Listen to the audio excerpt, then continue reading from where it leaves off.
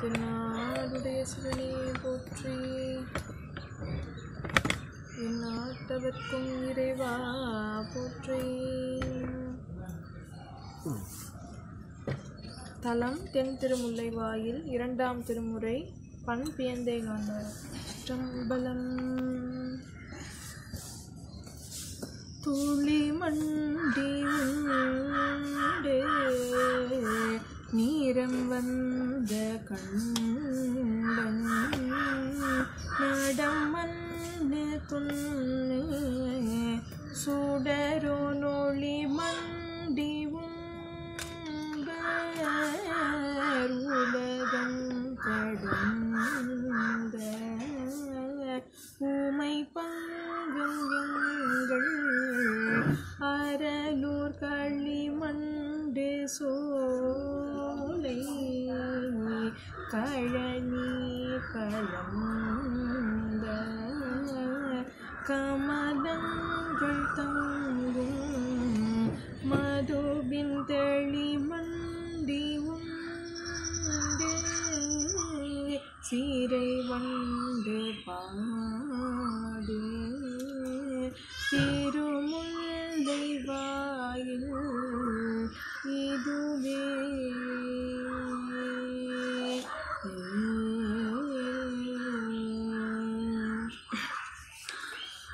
பருவத்தில் வந்து பயனுற்ற பம்பனையனை படைத்த பரமன். அறவத் தொடங்கம் அவை கட்டியுங்கும் அரவிக்க நின்ற உருவத்தின் மிக்க ஒளிர் சொங்கொடிப்பி அவை ஓத மோத வெறுவி. தெருவத்தில் வந்து செழுமுத்தலை கொள் திருமுல்லை வாயிலிதுவே வாராத நாடன் வருவாக்கம் வில்லின் உருமெல்கினாலும் முருகில். ஆராத அன் இன்ப நகலாத அன்பனருள் மேவி நின்றனோர் பேராத சோதி பிரியாத மார்பின் அலர் மீது பேதை பிரியாள். தீராத காதல் நிதி நீர நீடு திருமுல்லை வாயிலிருவே ஒன்றோ ஒன்று ஒன்றொடொன்றும் ஒரு நான்கொடைந்தும் இரு மூன்றொடேழும் உடனாய் அன்றின்றொடென்றும் அறிவானவர்க்கும் அறியாமை நின்றாரனூர். குன்றொன்றொடொன்று குலை ஒன்றொடொன்று கொடி ஒன்றொடொன்று குழுமி சென்றொன்றொடொன்று செறிவால் நிறைந்த திருமுல்லை வாயிலிதுவே கும்பண்ண மின்னி இடையாளு கூறன் விடையாளும் ஏறு குழகன். நம்பன் என் அன்பன் மறைநாவன் வானின் மதியேறு செம்மியரனூர். அம் அம்பண்ண ஒங்க அம்பண்ண ஒன் கணவராடரங்கின் அணி கோபுரங்கள் அழகார் செம்பொன்ன செவ்வி தருமாடம் நீடு திருமுல்லை வாயிலிடுவே ஊனேறு வேலின் உரு ஏறு கண்ணி ஒளி ஏறு கொண்ட ஒருவன் ஆனேர தேவி அழகேறும் நீர நரவேறு கூணும் மரனூர் மாங்கேறு கொள்ளை மயிலேறி வந்து குயிலேறு சோலை மருவி தேனேறு மாவின் வளமேறி ஆடு திருமுல்லை வாயிலிதுவே நெஞ்சார நீடு நினைவாரை முருகதின தேய நின்ற நிமதன். அஞ்சாடு சென்னி அறவாடு கைய நகலாடு நீரனூர் மஞ்சாறு மாட மணிதோறு மையமுலகின்று வைகி செஞ்சாலி நெல்லின் வளர் கொட்டிரு முல்லை வாயிலிதுவே வரை வந்தெடுத்த வலிவாளரக்க முடி பத்துமித்து நெறிய. உரை வந்த பொன்னின் உருவந்த மேனி உனை பங்க நெங்களரனூர் வரை வந்த சந்தொடகிலுந்தி வந்த மலர்கின்ற பொன்னி வடபால். திரை வந்து திரை வந்து வந்து செறி தேரலாடு திருமுல்லை வாயிலிடுவே மேலோடி நேடு விளையாடல் மேவு விரிமூலன் வேத முதல்வன் பாலாடு மேனி கரியானும் உண்ணியவ தேட நின்ற பரநூர். காலாடு நீலமல துன்றி நின்ற கதிரேறு சென்னல் வயலில். சேலோடு வாழை குடி கொள்ள மல்கு திருமுல்லை வாயிலிதுவே. பனிமல்கு தின்கை மதமாவுரித்த பரமன்னம் நம்பனடியே. இணைவண்ண சிந்தையடையாத தேரர் அமன் மாய நின்றரனூர் வனமல்கு கைதி வகுலங்கள் எங்கும் முகுலம் முகுலங்கள் எங்கும் நெறிய. சினைமல்கு புன்னை திகழ்வாசம் நாறு திருமுல்லை வாயிலிதுவே அணி கொண்ட கோதை அவள் நன்றும் கேட்ட அருள் செய்த எந்தே மறுபாத்தினி கொண்ட மூன்று பூரம் எய்த வில்லி. திருமுல்லை வாயில் இதன் மேல் தண்ணி கொண்ட சிந்தை. அவர் காழிஞானம் மிகு பந்தன் உன் தமிழ்கள் அணி கொண்ட பத்தும் இவை பாடு பத்த அகல்வானம் ஆழ்வர் மிகவே.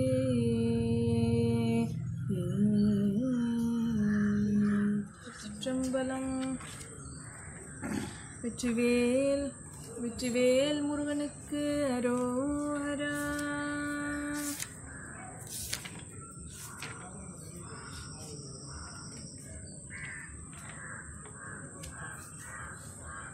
சந்ததம் பந்த தொடராதே சஞ்சலம் துஞ்சி தெரியாதே. சந்ததம் பந்த தொடராதே சஞ்சலம் துஞ்சி தெரியாதே. கந்தன் என்றென்றுற்று உனை நாளும் கண்டு கொண்டன் புற்று இடுவேனோ. தந்தியின் கொம்பை புணர்வோனே சங்கரன் பங்கீர் சிவை பாலா. தந்தியின் கொம்பை புணர்வோனே. சங்கரன் பங்கே சிவை பாலா. சிந்தீலம் கண்டீர் கதிர்வேலா. செந்தீலம் கண்டீர் கதிர்வேலா. தென்பரம் குன்றில் பெருமாளே தென்பரம் குன்றில் பெருமாளே தென்பரம் குன்றில் பெருமாளே தலம் திருச்செந்தூர் திருச்சம்பலம் வெற்றிவேல் முருகனுக்கு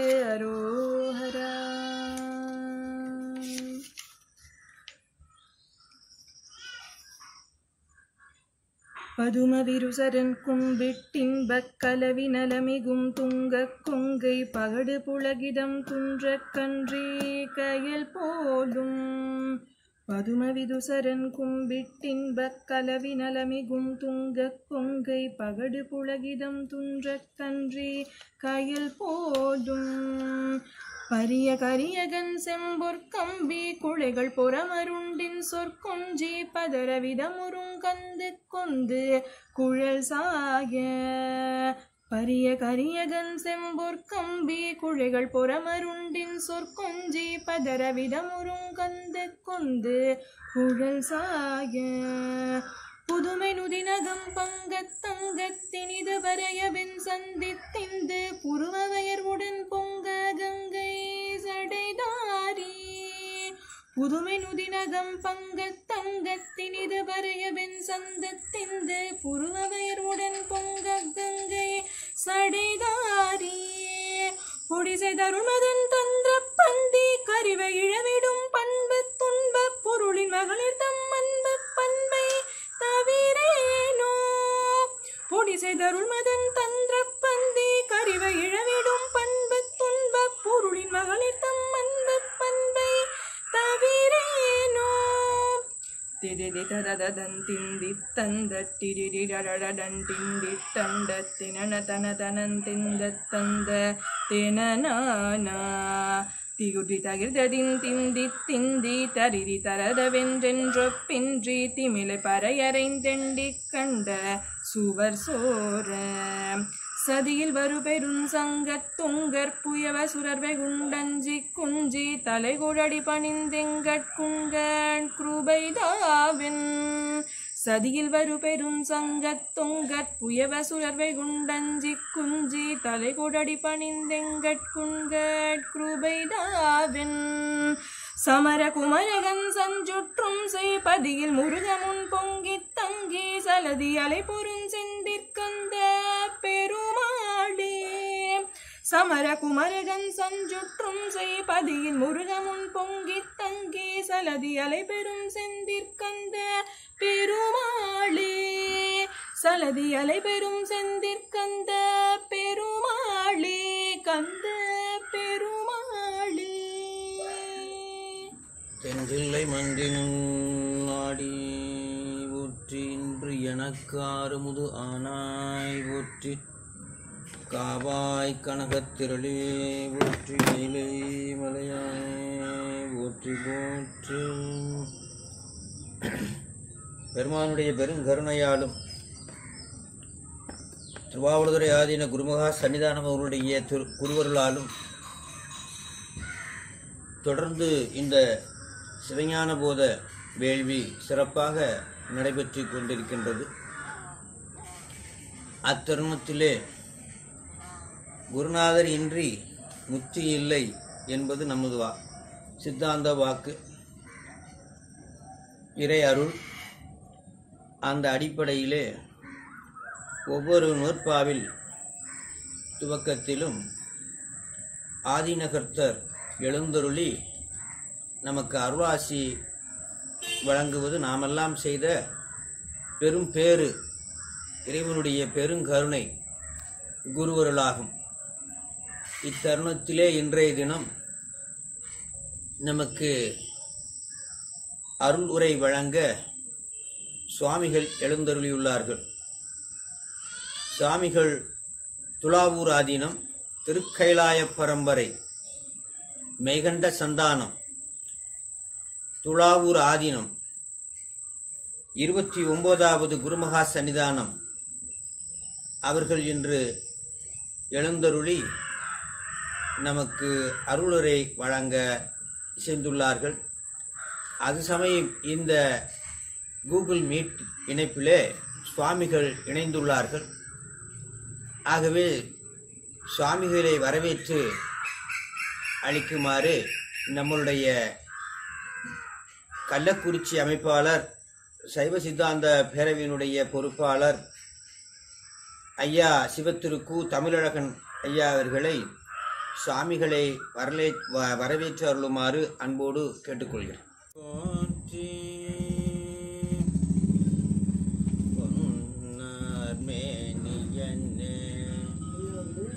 தோலை அரை கசைத்து மின்னா மாலை அணிந்தவனே. மன்னே மாமணியே.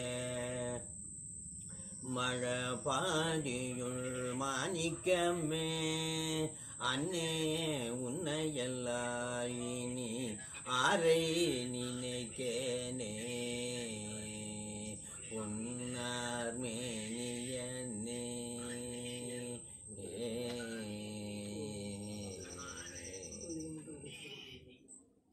நினைப்பவர் மனம் கோயிலாய் கொண்ட எம்பெருமானு திருவடிகளை போற்றி துதிக்கின்றோம்.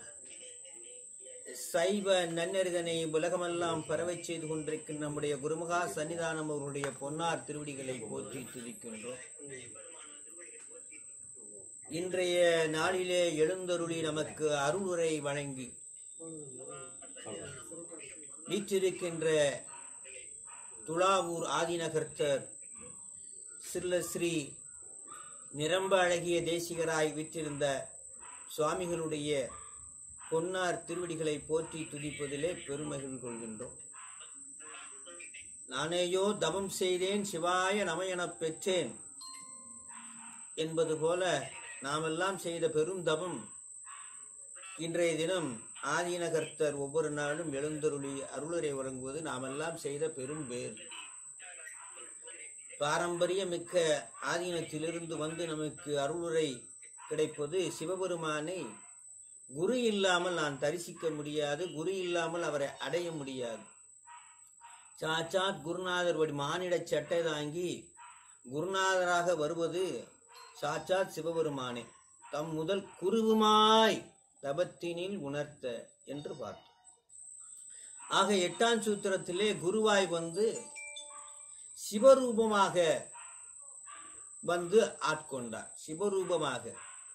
குருமணி என்று மாணிக்க வாசகர் சொல்வார். குருமணி என்று சொல்வார்.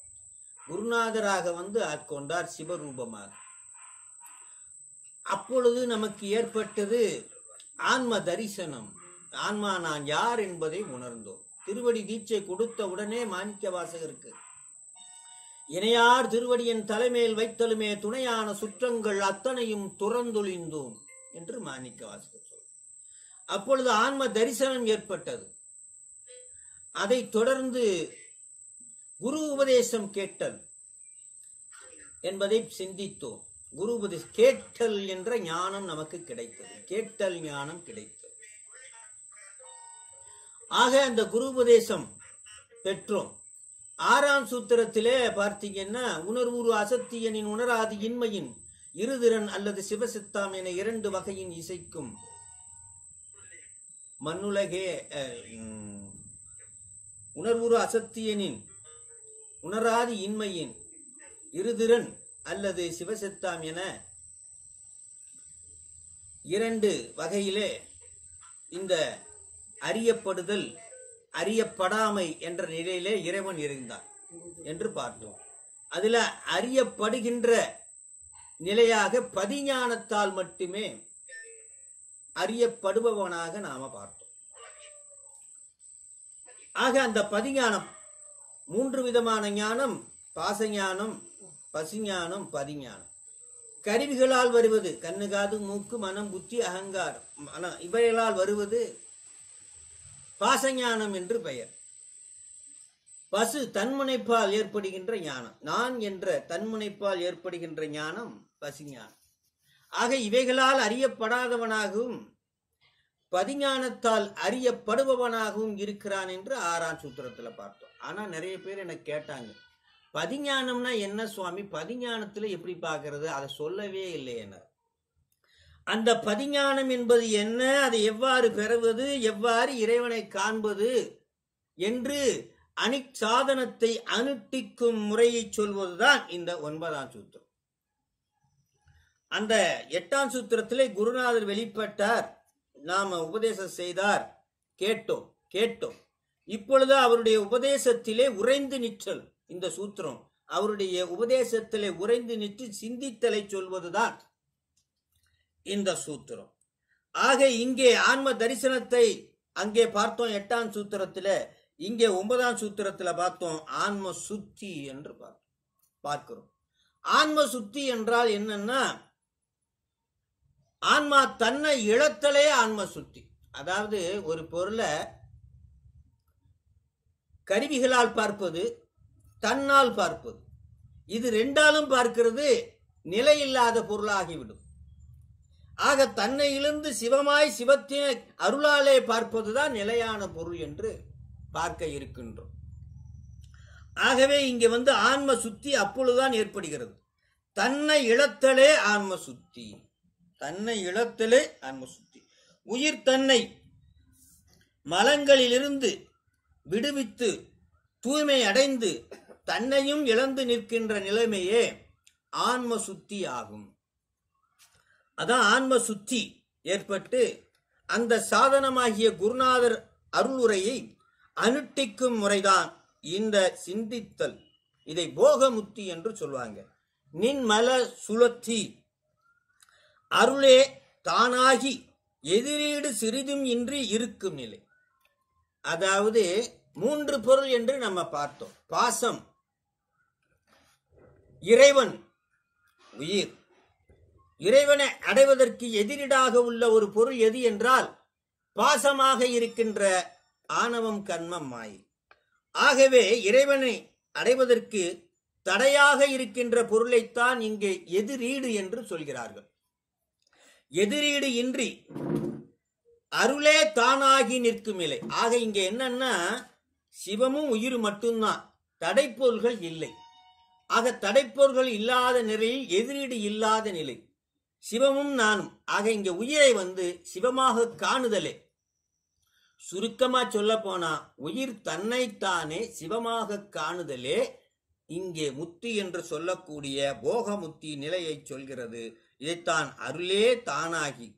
எதிரீடு சிறிதும் இன்றி இருக்கும் நிலைதான் இந்த நிலை. அது சொல்கின்றதுதான் ஒன்பதாம் சூத்திரம். ஆன்ம சுத்தி இறை குருநாதரிடம் கே குருநாதரிடம் கேட்ட உபதேச சாதனத்தை அனுஷ்டிக்கும் முறைதான் இது. இப்பொழுது நாம சூத்திரத்துக்குள்ள போக இருக்கின்றோம். பதிஞானம் பதிஞானம் சொல்லமே அந்த பதிஞானத்தை எப்படி பெறுவது என்று சொல்லுவதுதான் இந்த ஒன்பதாம் சூத்திரம். மிக மிக நுணுக்கமான விஷயத்தை சொல்லக்கூடியது. அந்த பதிஞானம் பெருமுறையும் அதை அனுட்டிக்கும் முறையும் சொல்லக்கூடியது. மிக மிக நுணுக்கமான முக்கியமான ஒரு சூத்திரம். என்பதை நாம் புரிந்து கொள்ள வேண்டும். இங்கே சூத்திரம் என்ன சொல்கிறது என்றால் உனக்கன் பாசம் உணராப்பதியே ஞானக்கண்ணினால் சிந்தை நாடி ஊனக்கண் பாசம் உணராப்பதியே ஊனக்கண்ணாகிய நாம் இந்த பார்க்கின்ற இந்த கண்ணாலே பாசம் ஆக கருவி அந்த கருவிகளாலே உணரா பதியை. ஞானக்கண்ணினால் சிந்தை நாடி. ஆக மூன்றாவதாக ஒரு கண் இருக்கிறது அது ஞானக்கண் சிவப்பிரகாசம் என்று சொல்லக்கூடிய கண். ஞானக்கண்ணினால் சிந்தை நாடி உரா துணை தேர்த்து என பாசம் ஒருவ உரா தேர் துணை தேர் ரெண்டு தேருக்கு பொது தேர் பொது ரெண்டுக்கும். உரா தேர் துணை தேர் என பாசம் ஒருவ தன்னிழலாம் பதி விதி என்னும் மஞ்சளுத்தேர் உரா தேர் அப்படின்னா மக்களால் செலுத்தப்படாத தேர் என்று பொருள். பார்த்தீங்கன்னா தேருக்கு முன்னாடி குதிரை வாகனம் எல்லாம் செஞ்சு ஒட்டி வச்சிருப்பான். ஆனால் குதிரையா இழுத்துட்டு போகுதுன்னா குதிரை இழுத்துட்டு போகல. அது பொய் தேரு குதிரை இழுத்துட்டு போகல சுவாமி. ஆனா வடத்துல இழுத்துட்டு போவாங்க. மக்களால் இழுத்து கொண்டு செல்லப்படுவதுதான் மெய்த்தேர் என்று சொல்லக்கூடிய விரைந்து செல்லக்கூடிய மக்களால் விரைந்து செல்லக்கூடிய துணைத்தேர் என்று சொல்லினேன்.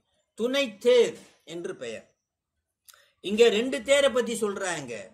பேய்த்தேர் என்று சொல்லக்கூடிய பொய்த்தேர் காணல் நீர் போன்ற பேய்த்தேராக இருக்கின்ற பொய்த்தேர் குதிரை இருக்கும் ஆனா குதிரை இழுக்காது.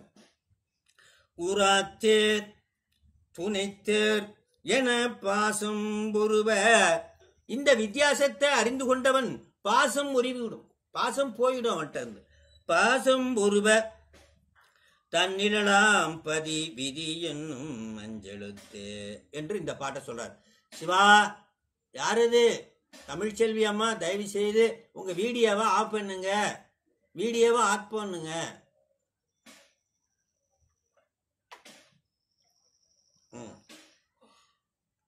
குறிப்பு.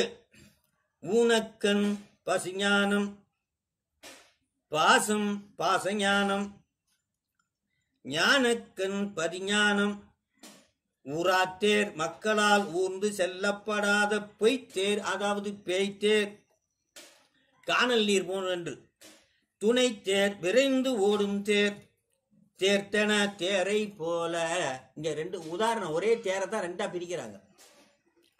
உராத்தேர் துணைத்தேர் என்று. விரைந்து ஓடுகின்ற தேரைத்தான் மக்களால் வடத்தால் இழுத்துச் செல்லப்படுகின்ற தேரைத்தான் துணைத்தேர் என்றும் ஓடாத தேர் பொம்மையால் இருக்கக்கூடியது ஓடாத மக்களால் ஊர்ந்து செல்லப்படாத ஒரு பேய் தேர் குதிரை. அப்படி இருக்கும் ஆனால் குதிரை இழுத்துட்டு போகாது. கேட்டதை இப்போ உறைந்து நிற்கிறோம். ஐயா இங்கே பேசுகிறேன் கேட்டதில் உறைந்து நிற்கிறோம்.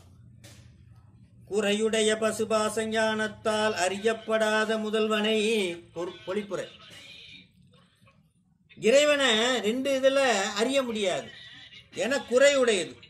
குறையுடைய பசு பாச ஞானத்தால் அறியப்படாத முதல்வனை ஸோ அறியப்படாத நிலை. நம்ம உணர்வுறு அசத்தியனின் உணராதி இன்மையின். இருதிறன் அல்லது சிவசத்தாம் என இரண்டு வகையின் இசைக்கும் மண்ணுலகே ஆக இங்க வந்து என்னன்னா குறையுடைய பசுபாச ஞானத்தால் அறிய முடியாது. கருவிகளால இறைவனை பார்க்க முடியுமா? நிறைய பேர் கேட்கிறான் கண்ணுல காட்டு காதுல காட்டு. பேச்ச சொல்லுன்றான். முடியாது. குறையுடைய பசுபாச ஞானத்தால் அறியப்படாத முதல்வனை அம்முதல்வனுடைய திருவடி ஞானத்தாலேயே தான் அறிய முடியும். அதற்கு பேர் என்னவென்றால் அவன் அருளாலே அவன் தாள் வணை ஆக உயிர் தன் அறிவின் கண்ணே ஆராய்ந்து அறிக. இத உயிர் தன் அறிவின் கண்ணே ஆராய்ந்து அறிக. அதாவது பதிஞானம் பெறும் வழி யாது? நிறைய பேர் கேக்குறான் பதிஞானம் பெறும் வழி யாது ஐயா கொஞ்சம் சவுண்டை குறைச்சிக்கங்க. இங்க வந்து எக்கோ அடிக்கும். இங்க திருப்பி இதுல அடிக்கும்யா சரி சரி. கொஞ்சம். ரெடி. ஆகவே பதிஞானத்தை பெறும் வழியாது. நிலம் முதல் நாதம் ஈராகிய முப்பத்தி ஆறு தத்துவங்களும் அவற்றின் விளைவு அத்தனையும் பாசக்கூட்டங்களே என்று அறிதல் வேண்டும். கண்ணு காது மூக்கு மனம் புத்தி அகங்காரம். காரு பங்களா தோட்டம் அம்மா உடம்பு அப்பா உடம்பு அண்ணன் உடம்பு. ஏன் உடம்பு? சுருக்கமா சொல்லணும்னா தனு கரண புவன போகம் அத்தனையும் பாச கூட்டங்களே என்று ஒதுக்கி தள்ள வேண்டும். அறிந்து அவை காணல் நீர் போல தோன்றி பொய்யா கழிவன என்று நீங்குதல் வேண்டும். அதாவது முதல்ல என்ன செய்யணுமா? காரை பார்க்கணுமா? எனக்கு ஆசை காரு பதினஞ்சு லட்சம் ரூபாய்க்கு வாங்கினேன்னு. கடைசியில் அந்த காரை பார்த்தவனே ஒரு முடிவுக்கு வரணுமா? இந்த காரு ஒரு நாள் அழியக்கூடியது. ஐய மனைவி மக்கள் எல்லாரையும் பார்க்கணுமா? பார்த்து அவங்க உடம்பு ஒரு நாள் அழியக்கூடியது. அட என்னையும் பார்க்கணுமா? என் உடம்பையும் பார்க்கணுமா? இந்த உடம்பு ஒரு நாள் அழியக்கூடியது. இந்த என் வீட்டை பார்க்கணுமா? ஆசை ஆசையா கட்டின வீட்டை பார்க்கணுமா? அதுவும் ஒரு நாள் அழியக்கூடியது. இப்படி ஒவ்வொரு பொருளையும் நுனி நுனி தனித்து தனித்து சுட்டி சுட்டி அறிந்து பார்த்து இது அழியக்கூடியது இது அழியக்கூடியது இது அழியக்கூடியது என்று பார்த்து கடைசியில் ஒரு பொருள் அழியாத பொருளாக நிற்குமாம். அதுதான் எப்பொருள் யார் யார் வாய்கப்பினும் அப்பொருள் மெய்ப்பொருள் காணுதலர். அதுதான் அழியாத ஒரு பொருள் மெய்ப்பொருள்.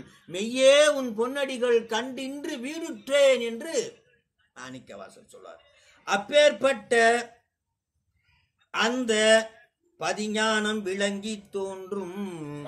எல்லா பொருளையும் நம்ம ஒதுக்கி தள்ளுனா கடைசியில ஒண்ணு நிக்குதுடா அதுதான்டா பதி என்று நாம் முடிவு செய்ய பதிஞானம் விளங்கும்.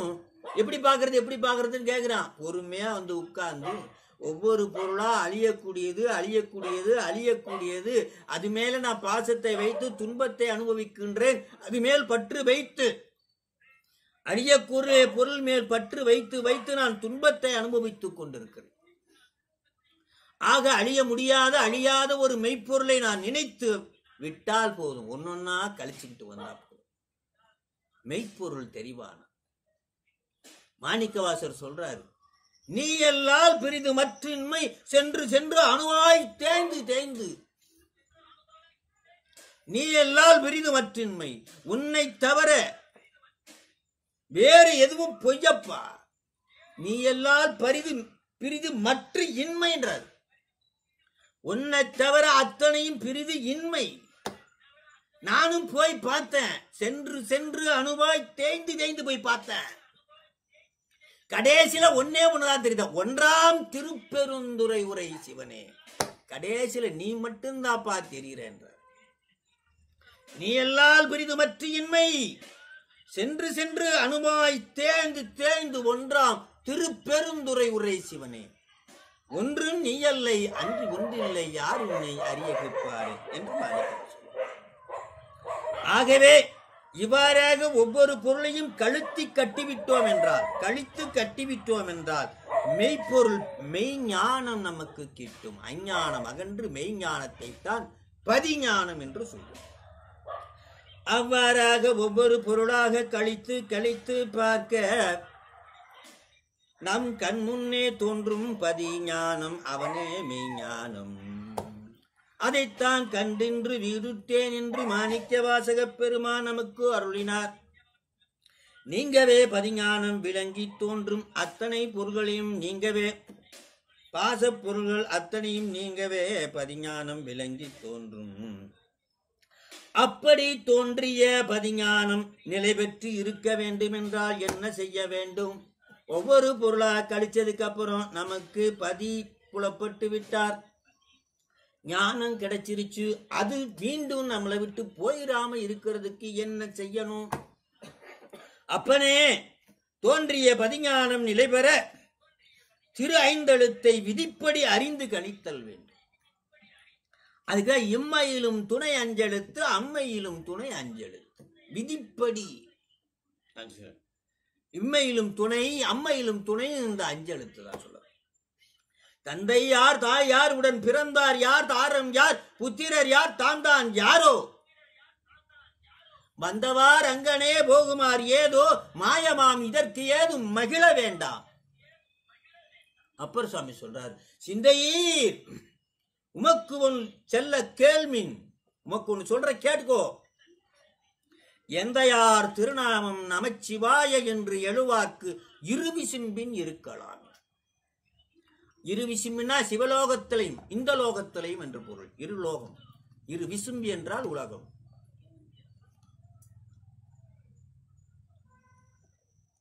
சிந்தையீர் உமக்கு ஒன்று சொல்ல கேள்மின் எந்த யார் திருநாமம் நமச்சிவாய் ஆக இந்த சூத்திரத்திலே சொல்லப்படுவது என்ன முக்கியமான விஷயம் என்றால் ஒவ்வொரு பொருளாக கழித்து கழித்து வர நிறைவாக நமக்கு நிற்பது பதிஞானம் ஆக பசுபாச ஞானங்கள் நம்மை விட்டு போய் பதிஞானம் நிற்கும். அந்த நின்ற பதிஞானத்தை பெ- நிரந்தரமாக நிலைபெறச் செய்ய என்ன செய்ய வேண்டும் என்றால் பிடிச்சுக்கோ அஞ்செழுத்த. மற்றும் பல விதற்ற வேண்டாம் அடனஞ்சே கற்றை சடையன்னல் காலத்தின் எற்றிக்கண் ஆறா அமுதின் திருநாமம் அஞ்செழுத்தை சோராமல் எப்பொழுதும் சொல். விட்டாத சொல்லிட்டே இரு. இம்மையிலும் துணை அம்மையிலும் துணை அஞ்சல். இதான் சொல்றாரு. அந்த அஞ்சலத்தினுடைய சிறப்பை விதிப்படின்னு சொல்றார். விதிப்படி கணித்து நிற்க என்று சொல்றார்.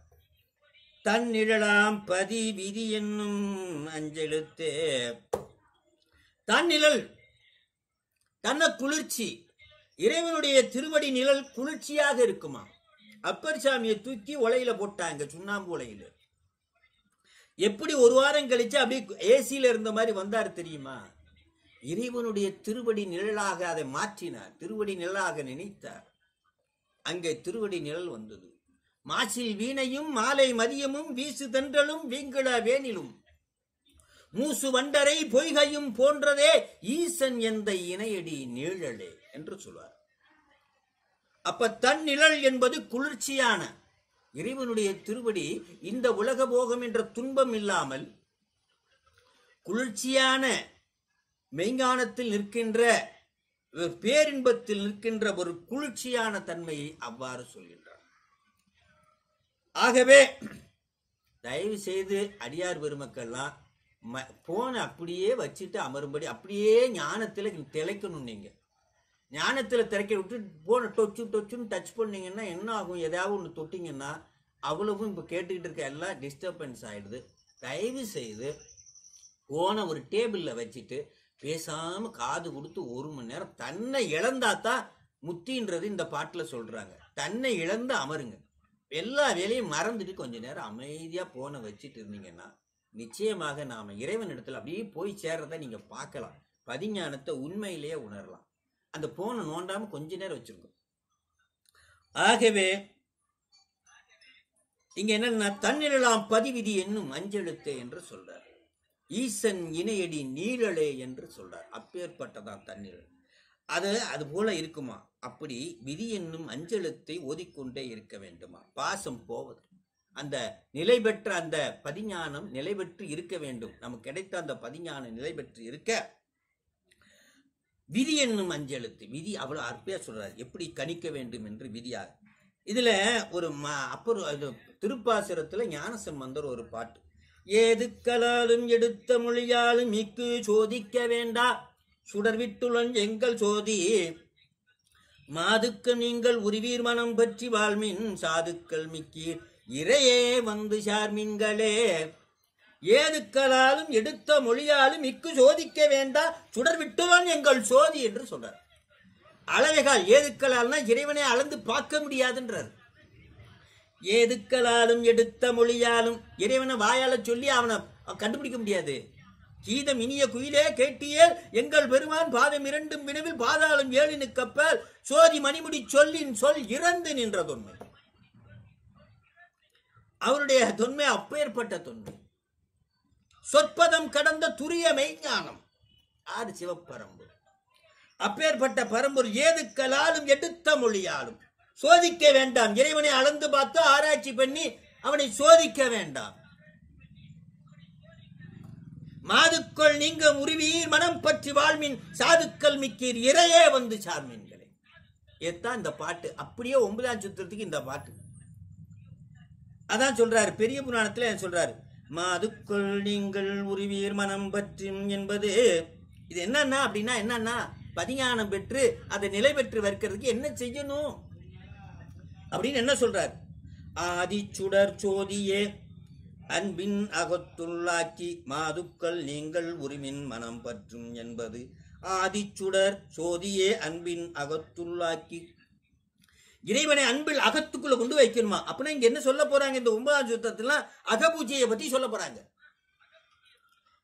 ஆதிச்சுடர் சோதியே அன்பின் அகத்துள் ஆக்கி போதித்த நோக்கு உற்று ஒழியாமல் பொருந்தி வாழ்ந்து. அப்படி போதித்த நோக்கு உற்று ஒழியாமல் பொருந்தி வாழ்ந்து. அவனோட இரண்டர கலந்து அகத்திலே நீயும் நானும் ஏகபோகமாக பேதித்த வந்த பிறப்பின் நெறிவேர்மின். இவ்வாறாக இறைவனை பூஜை செய்து பிறவி பிறப்பை அறுக்கின்ற அந்த நெறியை அடைவாயாக ஆன்மாவே என்று சொல்றார். பேதித்த பந்த பிறப்பின் தொடர்ந்து வருகின்ற அந்த பந்த பிறப்பு தொடர்ந்து தொடர்ந்து வருகின்ற அந்த பந்த பிறப்பின் அறுக்கக்கூடிய நெறிபேர்மின் என்று ஞானசம்பந்தர் புராணத்தில திருப்பாசுர புராணத்தில நம்முடைய சேக்கிலார் பெருமான் சொல்றாங்க ஆக இந்த பாடலிலே சொல்லப் போவது என்ன அந்த சூத்திரத்திலே என்பதை நாம் பார்த்தோம். ஆக ஒவ்வொரு பொருளாக கழித்து விட்டு வர வேண்டும். கழித்தால் பதிஞானம் வரும். அந்த பதிஞானம் பெற்றவுடன் தன்னிலெல்லாம் பதி அப்படி அவருடைய குளிர்ச்சியான அந்த திருவடி நிழல் கிடைக்கும். அதை தொடர்ந்து நிலைபெற வைக்கிறதுக்காக என்ன செய்ய வேண்டும் என்றால் அஞ்செழுத்தை விடாம சொல்லணும். அகபூஜை பண்ணணும். எவ்வாறு என்பதை இங்க சொல்றாங்க. அதற்கு பல உதாரண பாடல்கள் மேற்கோள் எல்லாம் சொல்லி நிறைவாக சொல்ல இருக்கிறார்கள் என்பதை நாம் இங்கே சிந்திக்க இருக்கின்றோம். அடுத்ததாக முதல் அதிகரணம். அதிகரணம்னா உங்களுக்கு தெரியும் அஞ்சு பிரிவு இருக்கிறது. சைவ சித்தாந்தம் சொல்கின்ற கருத்து அதில் ஏற்படுகின்ற ஐயம் அதில் பிற சமயத்தவர் சொல்கின்ற ஒரு கருத்து இது மூன்று சேர்ந்தது மேற்கோள். அடுத்தது பார்த்தீங்கன்னா ஏது என்றால் சைவ சமயம் சொல்லக்கூடிய கருத்து. அதற்கு ஒரு உதாரணம் வெண்பா. இதுதான் உதாரணம் வெண்பாக்கள். வெண்பா அல்லது வெண்பாக்கள். இதான் இங்க சொல்றாங்க. முதல் அதிகரணம். மேற்கோள் ஈண்டு. ஈண்டு என்றால் இந்த முதல் அதிகரணத்தில் என்று பொருள். ஈண்டு என்றால் இந்த முதல் அதிகரணத்தில். அம் முதலை ஞானக்கண்ணினாலே காண்க என்றது. இந்த முதல் அதிகரணத்தில் அம்முதல்வனாகிய இறைவனை ஞானக்கண்ணினால் காண்க என்றது. பாசக்கண்ணினால் காண முடியாது பசுக்கண்ணினால் காண முடியாது. உனக்கண் பாசம் உணராப்பதியை ஆகவே அம்முதலை ஞானக்கண்ணினால் காண்க என்றது. ஏது? அதற்கு ஒரு உதாரணம். ஏது? சைவ சித்தாந்தம் சொல்கின்ற கருத்து ஏது? தயவு செய்து யாரோ மைக்க ஆன் பண்ணி வச்சிருக்கீங்க. ஞானசம்பந்தம் ஐயா சென்னை. தயவு செய்து உங்களுடைய மைக்கை ஆஃப் பண்ணுங்க. இல்லைன்னா அடியார் பெருமக்கள் அவங்க ஆஃப் பண்ணுங்க. இது மாதிரி ஆ ஓகே. ஆகவே அவன் வாக்கு மனாதீத கோசரமாய் நிற்றலான்.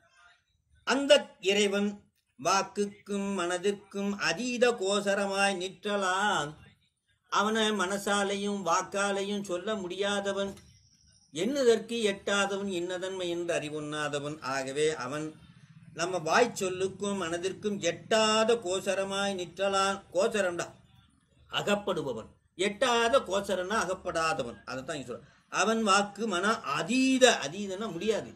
இங்க வந்து உயர்ந்த நிலை. வாக்கு மனாதீத கோசரமாய் நிற்றலான் முடியாது அவன் நிற்க மாட்டான்.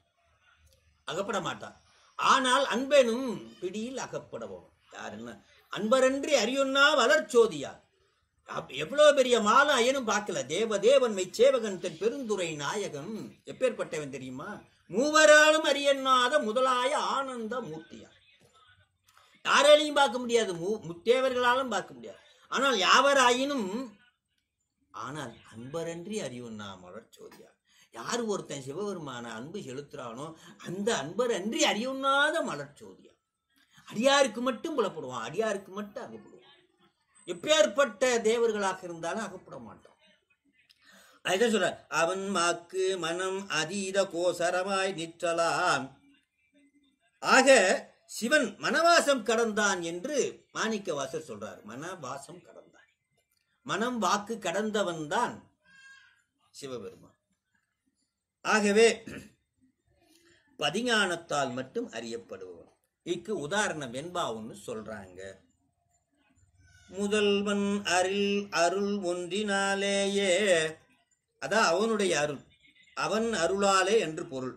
முதல்வன் அருள் ஒன்றினாலேயே உயிராகிய நாம் முதல்வனையும் தன்னையும் அறிய முடியும். அவனுடைய அருள் இல்லை என்றால் நான் என்னை அறிய மாட்டேன்? என்னை செலுத்துகின்ற இறைவனையும் அறிய மாட்டேன் சுருக்கமா சொன்னா அவன் அருளாலே அவன்தால் வணங்கி என்னையும் அவனையும் நான் அறிவேன். நீ உன்னை அறிந்தால் அப்போதான் இறைவன் அறிய முடியும். முதல்ல நீ உன்னை அறியணும் நீ யாருன்னு அறியணும். நான் அடிமை. அவன் யாரியா அவன் ஆண்டான். இதாயா நமக்கு சிவனுக்கு உள்ள உறவு. அடிமை ஆண்டான் முறை என்பதை புரிந்து கொள்ளவேன் முதல்வன் அருள் ஒன்றினாலேயே உயிர் முதல்வனையும் தன்னையும் அறியும். ஒரு பாட்டு என்பா. நாடியோ என்னுடைய நாடியோ என்னுடைய எலும்போ என்னுடைய நரம்போ என்னுடைய சீல் என்று சொல்லக்கூடிய புன்னீரோ கோழையோ அதிலிருந்து வரக்கூடிய கோழையோ தேடி என்னை அறியேன். நான் தேடிக்கிட்டே இருக்கிறேன். நான் இந்த உடம்பா அல்லது எலும்பா நரம்பா இவ்வாறாக நான் தேடுகிறேன். நாடியோ என்போ நரம்போ சீக்கோளையோ தேடி எனை அறிகிறேன். தேடி எனை அறியேன். தேர்ந்த வகை. அவ்வாறாக நான் தேடும் பொழுது நாடி அரண் தன்னாலேயே தன்னையும் கண்டு இவ்வாறு தேடும் பொழுது அரணுடைய அருளாலேயே தன்னையும் கண்டு தமை காணார். எம்மான் என அறிவார் என்று இந்த பாடல்களை சொல்றார். அவன் அருளாலே பார்க்கவில்லை என்றால் எவனாலே பார்க்க முடியும்? அந்த உயிர் எதால தான் பார்க்க முடியும் அப்படின்றார். அவனுடைய அருள் கிடைத்து பார்க்கவில்லை என்றால் எதால பார்க்க முடியும் அப்பா? அருமை அருமை சொல் நரியை குதிரை பரியாக்கி ஞானமெல்லாம் நிகழ்வித்து பெரியதன்னன் மதுரை எல்லாம் பிச்சது ஏற்றி. அரிய பொருளே அவினாசி அப்பா. பாண்டி வெல்லமே. தெரிய அரிய பொருளே அப்படின்னு சொல்றார். தெரிய அரிய பொருள். செய்வது ஒன்றும் அறியேனே என்று சொல்வார். அதுபோல இங்கே அவன் அருள் பார்க்கவில்லை என்றால் எதால நாடியோ அதாவது சரீரத்துல நான் யாருன்னு முதல்ல பார்க்கணுமா? சரீரத்துக்குள் நிறைய பேர் சொல்லுவாங்க அந்த உடம்பு தான் நானும் அப்படின்னுவான். அது கிடையாது. சரீரத்துள் நான் யார் என்று ஒரு கேள்வியை எழுப்பினார். இந்த சரீரத்தில் நான் யார் என்ற ஒரு கேள்வியை எழுப்பினார். நாடியோ நரம்போ என்போ கோளையோ அல்லது இந்திரியங்களோ அந்த கரணங்களோ என்று என்னை தேடும்போது நான் மனமா புத்தியா கண்ணா மூக்கா அல்லது புண்ணா நாடியா நரம்பா என்று நான் தேடும்போது அருகிலே அப்ப என்னவையா நடந்தது? தேர்ந்த வகை.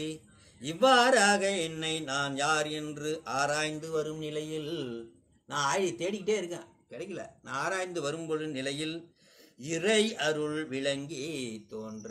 தேடுகின்றவன் உள்ளத்திலே புகுந்து ஐயா தம்பி நீ தேடுகின்றாய் உயிரே நீ தேடுகின்றாய். உனக்கு நான் உடனாயிருந்து உதவ வேண்டியது என் கடமை. நீ சாப்பிடுவதற்கு உதவுவது போல தூங்குவதற்கு உதவுவது போல பணி செய்வதற்கு உதவு போல நீ தேடுகின்ற இறைவனை காண வேண்டும் உன்னை காண வேண்டும்.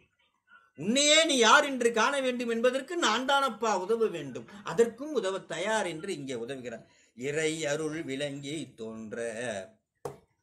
அந்த அருளால் இறைவனையும் பிறகு தன்னையும் அறியும் உயிர். ஆகா நீ உள்ள இருந்து உணர்த்திட்ட. நீ தாண்டா என் கடவுள் நான் தாண்டா உன் உன் அடிமை. எங்கள் நாயகனே என் உயிர் தலைவா தோன்றிவிட்டாய் தோன்றிவிட்டாய் என்று இந்த உயிருக்கு உள்ளே இருந்து உணர்த்தினார். தேடி கண்டு கொண்டே திருமாலோடு நான்முகனும் தேடி தேடலாம் தேடி என்று சொல்லார். ஆகவே இறையருள் விளங்கி தோன்றுமா? உள்ள போய் யார் ஒருத்தன் தன்னை தேட வேண்டும் என்று நினைக்கிறானோ அவனுக்கு இறையருள் உள்ளே புகுந்து அவன் தன்னை உணரும்படி செய்வான் சிவபெருமான். தன்னை உணரும்படி செய்து இறைவனையும் உணரும்படி செய்வான். தன்னை செலுத்துகின்ற திருவருளையும் நாம் உணரச் செய்வான். அந்த அருளால் இறைவனையும் பிறகு தன்னையும் அறியும் உயிர். முதல்ல இறைவனை அறியும் அப்புறம்தான் அவனுக்கு அடிமை என்று அறியும். அந்த அருளால் இறைவனையும் பிறகு தன்னையும் அறியும் உயிர். இவ்வாறு முதல்வனையும் தம்மையும் அறிந்தவர் முத்தியிலும் தனித்து நில்லாத தன்மை வேறு உடையவராக அறிவார். அப்ப இப்படி இப்படி இறைவன் உள்ளே இருந்து உணர்த்தவில்லை என்றால் முத்தியில கூட நீ தனியா இருக்க முடியாது அவன் இல்லாம இருக்க முடியாது. அப்படி இருக்கிற நிலையில அவனுடைய அருள் இருந்து நீ அறியவில்லை என்றால் யாரையே அறியுறது? யாரும் அறிய முடியாது. யார் உன்னை அறிய பெறுவார்? அறிய பெறுவார். யார் உன்னை அறிய கிப்பாரே என்று சொல்வார் ஞான சம்பந்தம் அற்புதமான பாட்டு அந்த திருப்பாசுரத்தில் பத்தாவது பாட்டு. யார் உன்னை அறிய கிப்பாரே என்று சொல்வார் ஆகவே இங்கே இந்த உதாரணத்தில் உடம்பை எல்லாம் கழித்துவிட்டு நான் இறைவனை தேடுகின்றேன் தன்னை தேடுகின்றேன் என்னை தேடுகின்றேன் என்று ஒருவன் வந்தால் அவனுக்கு தன்னை உணர்த்துவான் பிறகு தன்னையும் உணர்த்துவான் என்று இந்த வெண்பா சொல்கிறது. இரண்டாவது வெண்பா உதாரண வெண்பா. உயிர் அறிவால் முதல்வனையும் தன்னையும் அறிதல் இயலாது. உயிர் அறிவால் தன்னையும் முதல்வனையும் உணராது உயிர். காட்டிய கண்ணே தனை காணா கண்ணுக்கு? காட்டாய உள்ளத்தை கண்காணா? காட்டிய உள்ளம் தனக்கானா? உள்ளத்தின் கண்ணாய் கல்வன் தான் உள்ளத்தின் கான். காட்டிய கண் தனைக்கானா? அதாவது ஒரு பொருள் வந்து ஒரு கிலோமீட்டர் பத்து கிலோமீட்டர்ல இருக்குது. அது பக்கத்துல பத்து சென்டிமீட்டர்ல இருக்க கூட ஒரு கண்ணு பார்த்துருமா ஆனா கண் பொருளை காணும் போது உயிரால் தான் கண்ணு அறியுமா? உயிர் இல்லைன்னா அதுக்கு அறியுதா டப்பாவில் இருக்க கண்ணுக்கு தெரியாது. உடம்போடு பொருத்தி இருக்கிற உயிர் செலுத்துகின்ற கண்ணுக்கு தான் அந்த பொருள் தெரியும். அப்படி தெரிஞ்சும் போது அந்த பொருளுடைய இயல்பையும் அறியாதான். அது டம்ளர் இது டப்பான்னு கூட அதுக்கு தெரியாதான். கண்ணுக்கு தெரியாதான். தான் அது ஒரு டப்பானுங்க கண்ணுக்கு தெரியாது. தான் ஒரு பொருள் கண்ணுன்னு தெரியாது. தன்னை செலுத்துகின்ற உயிரையும் தெரியாது அதுக்கு அது ஒரு சடம். கண் பொருளை காணும் போது உயிரால் காட்டப்பட்டு காணும். அந்த கான் கண்ட அந்த பொருளின் இயல்பை அது அறியாது. கண்ட அந்த பொருளின் இயல்பை அது அறியாது. அது டம்ளர் இது டப்பா இது சுடு இது வெந்நீர் இது அறியாது கண்ணு. எது அறியும்? உயிர் தான் அறியும். எது அறியாது. கண்ணுக்கு காட்டாய உள்ளத்தை கண் காணா உள்ளனா இங்க உயிர். கண்ணுக்கு காட்டாய உள்ளத்தை கண்காணா ஆக அது மட்டும் அல்லாது இந்த பொருளை காண்பதற்கு உதவிய கண்ணுக்கு உதவிய உயிரையும் கண் காண மாட்டாது. சுருக்கமா சொன்னா அந்த பொருளை பத்தியும் கண்ணுக்கு தெரியாது தன்னை செலுத்திய உயிரையும் தெரியாது. தன்னையும் யாரும் தெரியாது. இதுதான் விஷயம். கண்ணை பொழுத்திய செலுத்திய உயிரையும் தெரியாது அந்த பொருளை பற்றியும் கண்ணுக்கு தெரியாது. ஜஸ்ட் ஒரு இன்ஸ்ட்ருமெண்ட் இந்திரியங்கள் வாசக்கருவி அறிவற்ற கருவிகள். அது போல காட்டிய உள்ளம் தனை காணாது. உயிர் தன் இயல்பையும் தனக்கு அறிவித்து நிற்கும் முதல்வனையும் அறியாது. எப்படி கண்ணு பொருளையும் அறியாதோ தன்னை செலுத்திய உயிரையும் அறியாதோ? அதுபோல இந்த உயிர் தன்னையும் அறியாது தன்னை செலுத்திய திருவருளையும் அறியாது நிற்குதாம். தன்னையும் அறியாது தன்னை செலுத்திய கடவுளையும் அறியாதான் அதைத்தான் சொல்றாரு. முதல்வனையும் அறியார் அந்த நிலையில உள்ளத்தின் கண் ஆய கல்வன் தான். உள்ளத்தின் இந்த இடத்துல உள்ளம் என்பது உயிர். உள்ளத்தின் கண் ஆய கல்வந்தான். என்றாலும் இதுல ஒரு வித்தியாசம் இருக்குதான் கண்ணுக்கும் உயிருக்கும். கண்ணு நிரந்தரமா அறியாதப்பா. கண்ணு எப்போதும் சடம்? ஆனா உயிர் அவ்வாறு இல்லை. அறிவித்தால் அறியக்கூடிய அறிவுள்ள பொருளப்பா. அறிவித்தால் அறியக்கூடிய ஒரு அறிவுள்ள பொருள். கண்ணு என்னைக்குமே தெரியாது கண்ணுக்கு அது. அதுபோல கண் சடம் எக்காலத்திலும் உயிரை அறியாது. கண் சடம் எக்காலத்திலும் உயிரை அறியாது. ஆனால் உயிர் அறிவு பொருள். உயிர் என்பது ஒரு அறிவு பொருளப்பா நான் யார் என்று தேடும் இடத்து நான் யார் என்று அதற்கு தேடுகின்ற எண்ணம் வந்துவிட்டால் உடனாய் நின்று உயிர் தேடும்படி செய்து மறைத்து கல்வனாய் நிற்கின்றான். மறைப்பாற்றல். உள்ள இருந்து தேடுறதுக்கு உதவுகிறாராம். கல்வனாய் நின்று என் உள்ளம் கவர் கல்வன் என்று ஞானசம்பந்தர் சொல்வார். என் உள்ளம் கவர் கல்வன். ஏடுடைய மலரான் பீடுடைய பிரம்மாபுரம் ஏடுடைய மலரான் உன்னை நினைத்து பீடுடைய பிரம்மாபுரம் மேவிய பெம்மான் இவன் அன்று என்று சொன்னார். அதான் இங்க சொல்றாரு. உயிர் தேடும்படி செய்து மறைத்து கல்வனாய் நிற்பதாலே. இப்படி ஒரு நிலை இருக்குதா? அந்த நிலையில் உள்ளத்தின் காம் அந்த நிலையில் ஒருத்தன் தேடணும்னு நினைச்சிட்டான். நான் யாருன்னு தேடணும்னு நினைச்சிட்டான். அப்படின்னா அந்த முதல்வனை அவன் அருளால் உண்டாகும். தெளிந்த அறிவால் நாடி தெளிவாயாக. சுருக்கமா சொல்லணும்னா நான் யார் என்று தேட வேண்டும் என்று ஒருவன் நினைத்து விட்டால் அவனுக்கு முன்னே நின்று இறைவன் அவன் அருளாலே அவன் தாழ் வணங் அவனுக்கு காட்டுவான் என்று பொருள். தன்னையும் காட்டுவான். தான் யார் என்ற அந்த உயிரினுடைய இயல்பையும் காட்டுவான்.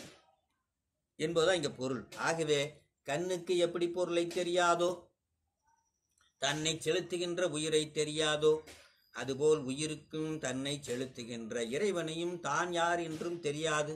ஆனால் அந்த கண் ஒரு சடப்பொருள் என்றுமே அப்படித்தான் இருக்கும். ஆனா உயிர் அவ்வாறு இல்லை. அறிவித்தால் அறியக்கூடிய பொருள். இப்படி பக்குவப்பட்டு நான் யார் என்று தேடுகின்ற காலம் வரும்பொழுது இறைவன் உள்ளின்று உணர்த்துவான். அதுவே பதிஞானம். ஆகவே பதியான் அந்த முதல்வனை அவன் அருளால் உண்டாகும் தெளிந்த அருவால் நாடி தயல்காயாக என்று இப்பாடலிலே கூறுகின்றார். இப்பொழுது இரண்டாம் அதிகரணம் போக போறோம். இரண்டாம் அதிகரணம் தன்னிழலாம் பதி உரா துணை தேர்த்தன பாசம் ஒருவ தன்னிழலாம் பதி என்று சொல்றார். மேற்கோள் இங்க வந்து ஏது மட்டும்தான் சொல்றாரு. சாரி ஏது மேற்கோளுடன் கூறப்பட்டுள்ளது. மேற்கோள் மட்டும்தான் சொல்றாரு. ஏது சொல்லல. அதுக்கு நம்மளுடைய மாபாடியா ஆசிரியர் நம்மளுடைய திருவாவூடுதுறை ஆதீன சிவஞான சுவாமிகள் வந்து நம்மளுடைய குரு அப்படி குலகுரு என்று சொல்லுவாங்க. சிவஞான முனி சுவாமிகள் வந்து நமக்கு அதுக்கு மாபடியத்தில் ஒரு மேற்கோளாகவும் அதை பிரித்து ஏதுவாகவும் நமக்கு அருளியிருக்கிறார்கள். அதையும் பார்க்க இருக்கின்றோம். மேற்கோள் இனி அசத்தாயுள்ள வண்ண பேதங்களை அசத்து என்று கான் அசத்தாய் உள்ள வண்ண பேதங்களை அசத்து என்று கான் உலகத்தில் இருக்கக்கூடிய அசத்து பொருள்களை எல்லாம் அசத்து என்று முதல்ல பாரு. இறைவன் சத்து பொருள் மற்றவையெல்லாம் அசத்து பொருள் என்று கான் உலதாய் நிற்பது எல்லாத்தையும் அசத்து அசத்துன்னு ஒண்ணுன்னா தள்ளி விட்டேன்னா கடைசியில நிற்கிறது உலதாய் நிற்பது ஞான சொரூபம் பதி என்று பொருள். ஞான சொரூபம் என்று உணரற்பார். உலகத்தில் உள்ள ஒவ்வொரு பொருளாக அசத்து என்று கழித்து விட்டால் கடைசியில் ஒரு பொருள் நிற்கும். அது உலகையும் நம்மையும் செலுத்துகின்ற நிர்வகிக்கின்ற ஒரு பொருள் பதி. உலகத்தில் மூணு பொருள். நாம உயிர் பொருள் அறிவு பொருள். அதை போல சடப்பொருள். ரெண்டையும் நிர்வகிக்கின்ற ஒரு பொருள். அதுதான் ஞான சுரூபமாய் நிற்கின்ற இறைவன். கடைசியில தெரியுமா? இதைத்தான் சொல்றாரு. வேதங்களை அசத்து என்று காண. உலக வாழ்வை நிலையற்றது என அறிய என்று பொருள். வேதங்கள்லாம் அத்தனையும். ஆமா அது மேலதான் ஆனா இருக்கும். அதனாலதான் நம்ம பேதை என்று சொல்றோம். பேதை அப்படின்னு சொல்றோம். ஆகவே ஞான சுரூபம் சிவஞானம் என்று இங்க பொருள் சிவஞான சாமிகள் இதுக்கு மேற்கோள் மட்டும் சொல்லியிருக்கிறாரு. யாரு? மேகண்டார் அதற்கு சிவஞான சுவாமிகள் மேற்கோளை ரெண்டா பிரிச்சு மேற்கோளாகவும் ஏதுவாகவும் ஒரு உதாரணம் உதாரணமாக சொல்லியிருக்கிறாங்க. இனி அசத்தாய் உள்ள பிரபஞ்சத்தை அசத்து என்று காண உளதாய் நிற்பது ஞான சுரூபம் என்று உணரர் பாற்று என்று உணர்ந்தால் அசத்தாக இருக்கிறது பூரா அசத்துப்பா இந்த பிரபஞ்சம். ஆனால் எல்லாத்தையும் அசத்துன்னு தெரிஞ்சால் ஞான சுரூபமாக ஒரு பொருள் இருக்குதுப்பா. என்று உணர்ந்தால் என்று உணர்கின்ற பார்த்து ஏது? வேற்று இயல்பாகிய வண்ண வேதங்களை வேற்று இயல்பு என்று கழிப்பின். வேற்று இயல்பாகிய வண்ண வேதங்களை வேற்று இயல்பு என்று கழிப்பின். உலகாய் நிற்பது படிக சுரூபமாய் துணை. அதாவது படிகம் இருக்குதான் படிகத்துக்குன்னு ஒரு ஒரிஜினல் கலர் இருக்குமா? ஒரிஜினாலிட்டி இருக்குமா? அது மேலே ஏகப்பட்ட கலர் இருக்குமா? நேர பல ஒளிகள் படிஞ்சிருக்குமா? நம்ம உலகத்தில் பார்க்குற இலை தோலை ம- எல்லா நிழலும் அதில் பட்டு ஒளி பலவிதமாக தெரியுமா? அத்தனை ஒளிகளையும் நம்ம கழட்டி விட்டோம்னா கடைசியில் படிகத்தினுடைய ஒளி ஒரிஜினாலிட்டி தெரியுமா? அதுபோல் எல்லா ஒளிகளையும் எடுத்துட்டோம்னா கடைசியில் அதனுடைய ஒரிஜினாலிட்டி தெரியுமா? அது போல பொருள். சிவமாகிய தன் சொரூபத்தை காட்டாமல் மறைத்து நிற்கும் ஒரிஜினல் பொடிக மாதிரி மறைத்து நிற்கும் உலகினை அப்படி மறைச்சிருக்கான் உள்ள இருக்கிற படிகத்தினுடைய ஒரிஜினாலிட்டி தெரியாம வெளி கலர் பூரா மறைச்சிருக்குதான். அதுபோல சிவபெருமானை மறைத்து இந்த உலகம் இருக்குதான். இருக்குதா? இது நிலையற்றது என்று உணரின் அத்தனை இது பொய்ன்னு உணர்ந்தேன்னா உள்ள இருக்கிற சிவபரப்பொருள் தெரிவாராம். உணரின் அவ்விடத்து விளங்கி தோன்றுவது ஞான சுரூபமே. படிகத்தினுடைய ஒரிஜினல் கலர் வெள்ளைன்னு வச்சுக்கோங்க. அதுல பச்சை செவ்வுழு எல்லாம் பட்டுருச்சு. பச்சை செவ்வுழுவை நீங்க ஆஃப் பண்ணிட்டீங்கன்னு வச்சுக்கோங்களேன் படிகத்தினுடைய ஒரிஜினாலிட்டி தெரியும். அதுபோல இறைவன் கலந்திருக்கின்ற இந்த உலகத்தில தொய்பொருளெல்லாம் நீங்க தவிர்த்து விட்டு கழித்து விட்டு பார்த்தால் கலந்திருக்கின்ற சிவபெருமான். சுரூபமாக அதுவும் ஞான சுரூபமாக உங்கள் உள்ளத்தில் விளங்குவான். அதுக்கு திருமந்திரத்தில் ரெண்டு பாட்டு சொல்றாங்க. அற்புதமான ஒரு விளக்கம். பொன்னை மறைத்தது பொன்னணி பூடனம் தங்கத்தை மறைச்சிருக்குதான் அணிகலன். நீங்க என்ன சொல்லுவீங்களா? செயின் நெக்லஸ் வளையல்னு சொல்லுவீங்களா? ஆனா அது தங்கம். உண்மையிலே தங்கத்தை நீங்க எப்படி சொல்லுவீங்கன்னா செயின் நெக்லஸ் வளையல் தான் சொல்றீங்க. பொன்னை மறைத்தது பொன்னணி பூடனம் பொன்னில் மறைந்தது பொன்னணி பூடம் ஆக பொண்ணுக்குள்ளே தங்கமும் த- அணிக்குள்ளே த- தங்கமும் தங்கத்துக்குள்ளே அணியும் இருக்குதான் அது எவ்வாறு? அதை போல தன்னை மறைத்து தன் கரணங்களாம் தன்னின் மறைத்தது தன் கரணங்களே. ஆகவே இந்த உலக போகம் தனு கரண புவன போகம் நம்ம கண்ணுக்கு தெரியுதா? அதுல மறைந்திருக்கின்ற இறைவன் தெரியவில்லையா? அதுல மறைந்திருக்கிற நானும் தெரியலையா? தனுகரண புவன போகம் மறை தனுகரண புவன போகத்தில இந்த உயிர் மறைந்திருக்கிறது இந்த சிவமும் மறைந்திருக்கிறது. அதே தனு கர்ணபுவன போகத்தை கழட்டி விட்டா அந்த சிவமும் தெரியும் உயிரும் தெரியும். ஆக தனுகரண போவனத்துக்குள்ளே இறைவனும் இறைவனுக்கு கலந்திருப்பது தனுகரண போவம். அதே போல பொன்னில் அணியும் அணியில் பொன்னும் போல. அதே போல இன்னொரு வெண்பாவம் இன்னொரு தருமந்தரம் தருமந்திரம் சொல்றார். மரத்தை மறைத்தது மாமத யானை மரத்தின் மறைந்தது மாமத யானை. ஒரு யானை பொம்மை இருந்ததா? மரபொம்மை அது என்னன்னு கேட்டால் குழந்தைய கேட்டால் யானைன்னுமா. யானை எதுக்குள்ளே மறந்துருக்குன்னா மரத்துக்குள்ளே மறைச்சேன் யானை வந்து மரம் மறைஞ்சு போச்சான் யானை தான் வெளில தெரியும் அதே போல் யானைக்குள் மரமும் மரத்துக்குள் யானையும் கலந்திருக்குதான் அதை போல பரத்தை மறைத்தது பார் முதல் பூதம். அங்க பஞ்சபூதம் நம்ம கண்ணுக்கு தெரியுது அதுல கலந்திருக்கிற பரம்பொருள் தெரியல. பஞ்சபூதம் மட்டும் நம்ம நல்லா தெரியுது அதிலே கலந்திருக்கிற பரம்பொருள் தெரியவில்லை. பரத்தை மறைத்தது பார் முதல் பூதம். பரத்தின் மறைந்தது பார் முதல் பூதமே. அதே போல சிவத்துள் மறைந்தது பார் முதல் பூதமே. பஞ்சபூதத்துக்குள்ளே சிவம் சிவத்துக்குள்ளே பஞ்சபூதமும் இருக்கிறது. ஆக பஞ்சபூதத்தை கழட்டி விட்டேன்னா பரம்பொருள் கண்ணுக்கு தெரியும். அதை போல படிகத்திலே மற்ற கலர்களை கலட்டி விட்டீர்கள் என்றால் படிகத்தினுடைய ஒரிஜினல் நிறை தெரியும்.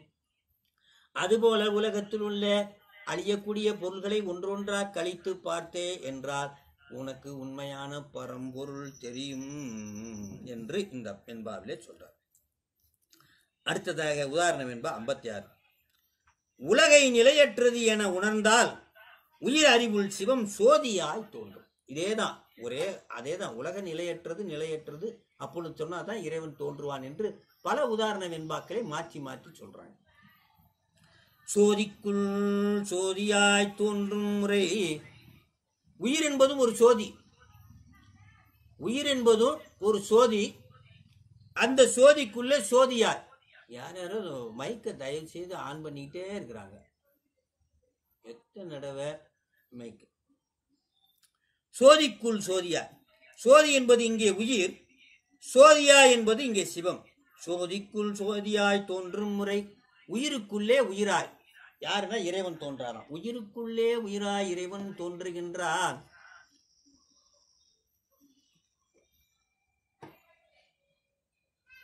நிற்குணனாய் நின்மலனாய் நித்யானந்தனாய் தற்பரமாய் நிற்ற நின்ற தனிமுது தனிமு முதல்வன் அற்புதம் போல் ஆனா அறிவாய் அளவிந்தது அளவி அ- அளவிறந்து தோன்றானோ? வானே முதல் வானே முதல் கலையின் வந்தது. என்ன சொல்றாரு? நிற்குணனாய். நல்லா தெரிஞ்சுக்கணும். ஒரு பாட்டுல கூட சொல்றாரு. சாமிக்கு குணம் இல்லைன்னு. குணம் இல்லைன்னா என் குணத்தான் தாளை வணங்காத்தலை என்று என் குணம் என்று பரிமேலழகர் குரலுக்கு விளக்கம் அளித்திருக்கிறார் ஆகவே என் குணம் இல்லை என்று சொல்ல முடியாது. இறைவனுக்கு சொரூப நிலையிலே என் குணம் உண்டு. ஆனா ஒரு பாட்டுல சுந்தர பெருமான் சொல்றாரு கூடி அடியார் இருந்தாலும் குணம் ஒன்று இல்லீர் குறிப்பில்லீர் ஊடியிருந்தும் உணர்கிலேன் உண்மை தொண்டன் ஊரனேன். தேடியெங்கும் காண்கிலேன் திருவாரூரே சிந்திப்பன். ஆடும் திரை காவிரி கோட்டத்து ஐயாருடைய அடிகளோ. கூடி அடியார் இருந்தாலும் குறை ஒன்றுமில் குணம் ஒன்றுமில்லே குறிப்பில்லீர் ஊடி இருந்தும் உணர்கிலேன் உண்மை தொண்டன் ஊரனே தேடி எங்கும் காண்கிலேன் திருவாரூரை சிந்திப்பது. ஆடும் திரை காவிரி கோட்டத்து ஐயாருடைய அடிகளோ ஓன்னு எழுப்புறாரு. அங்க அந்த கரையில் இருந்த பிள்ளையாரு அந்த ஆற்றினுடைய பாதையை வெளிப்படுத்தி விடுகிறார். இறைவன் அங்க சுந்தரபெருமா அந்த கரைக்கு போகணும். ஆறு தடையா இருக்கிறது. அடிகளோ என்று ஓங்காரத்தை எழுப்புகிறார் அங்கே அதுல அந்த பாட்டுல சொன்னார் கூடி இருந்தும் கூடி இருந் குணம் ஒன்று இல்லை கூடி அப்படின்னு சொல்றார். அங்கே குணம் என்று இல்லை என்றார். இங்கே குணம் இருக்குது நீங்கள் நல்லா புரிந்து கொள்ள வேண்டும். என் குணம் என்பது உண்டு முக்குணம் என்பது இல்லை. உயிர்களிடத்திலே மாயா காரியமாக வருகின்ற ராட்சச குணம் தாமச குணம் சாத்விய குணம் என்ற மூன்று குணம் இல்லை.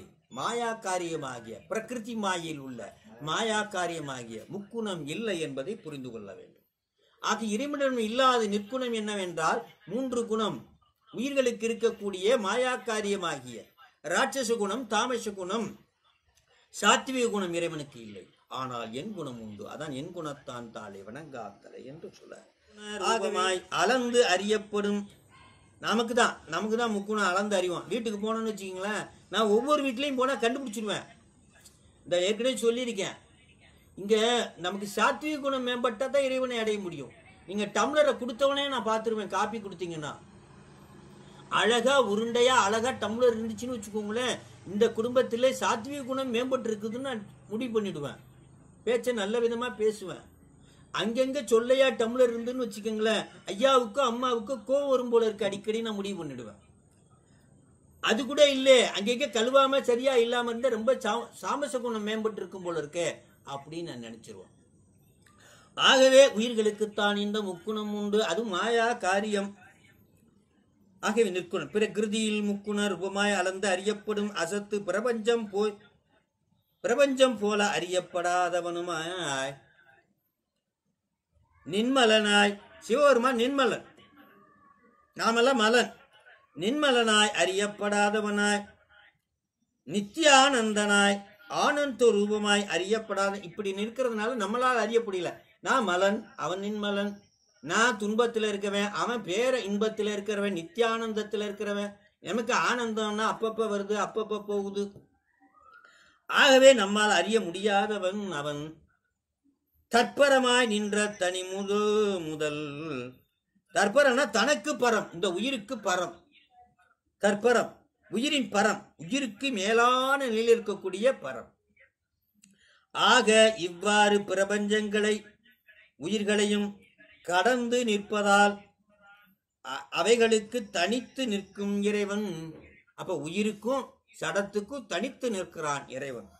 அப்ப வான் முதல் கலையின் ஆகாயம் முதலிய பிரபஞ்சங்களை அசத்து என்று அவற்றில் நின்று நீங்கும் போது பஞ்சபூதங்களை மண்ணு தானே சொல்லணும்? வான்னு ஏன் சொல்றாரு? உசந்தது எல்லாத்தையும் அடக்கி இருக்கிறது வானு பஞ்சபூதங்களை அடக்கி இருக்கிறது வான். ஆக ஆகாயம் என்பதனால வான் முதல் கலையின் கலை தத்துவத்திலிருந்து எல்லாம் தோன்றதுனால கலையும் வான் முதல் கலையும் ஆகாயம் முதலிய பிரபஞ்சங்களை அசத்து என்று அவற்றில் நின்று நீங்கும் போது அத்தனை தத்துவங்களையும் நீங்கும் போது அத்தனை தத்துவங்களையும் சடம் என்று நீங்கும் போது அளவு இறந்து அற்புதம் போல் வந்து. அளவு இறந்து அற்புதம் போல் வந்து. அற்புதமா வருவானா?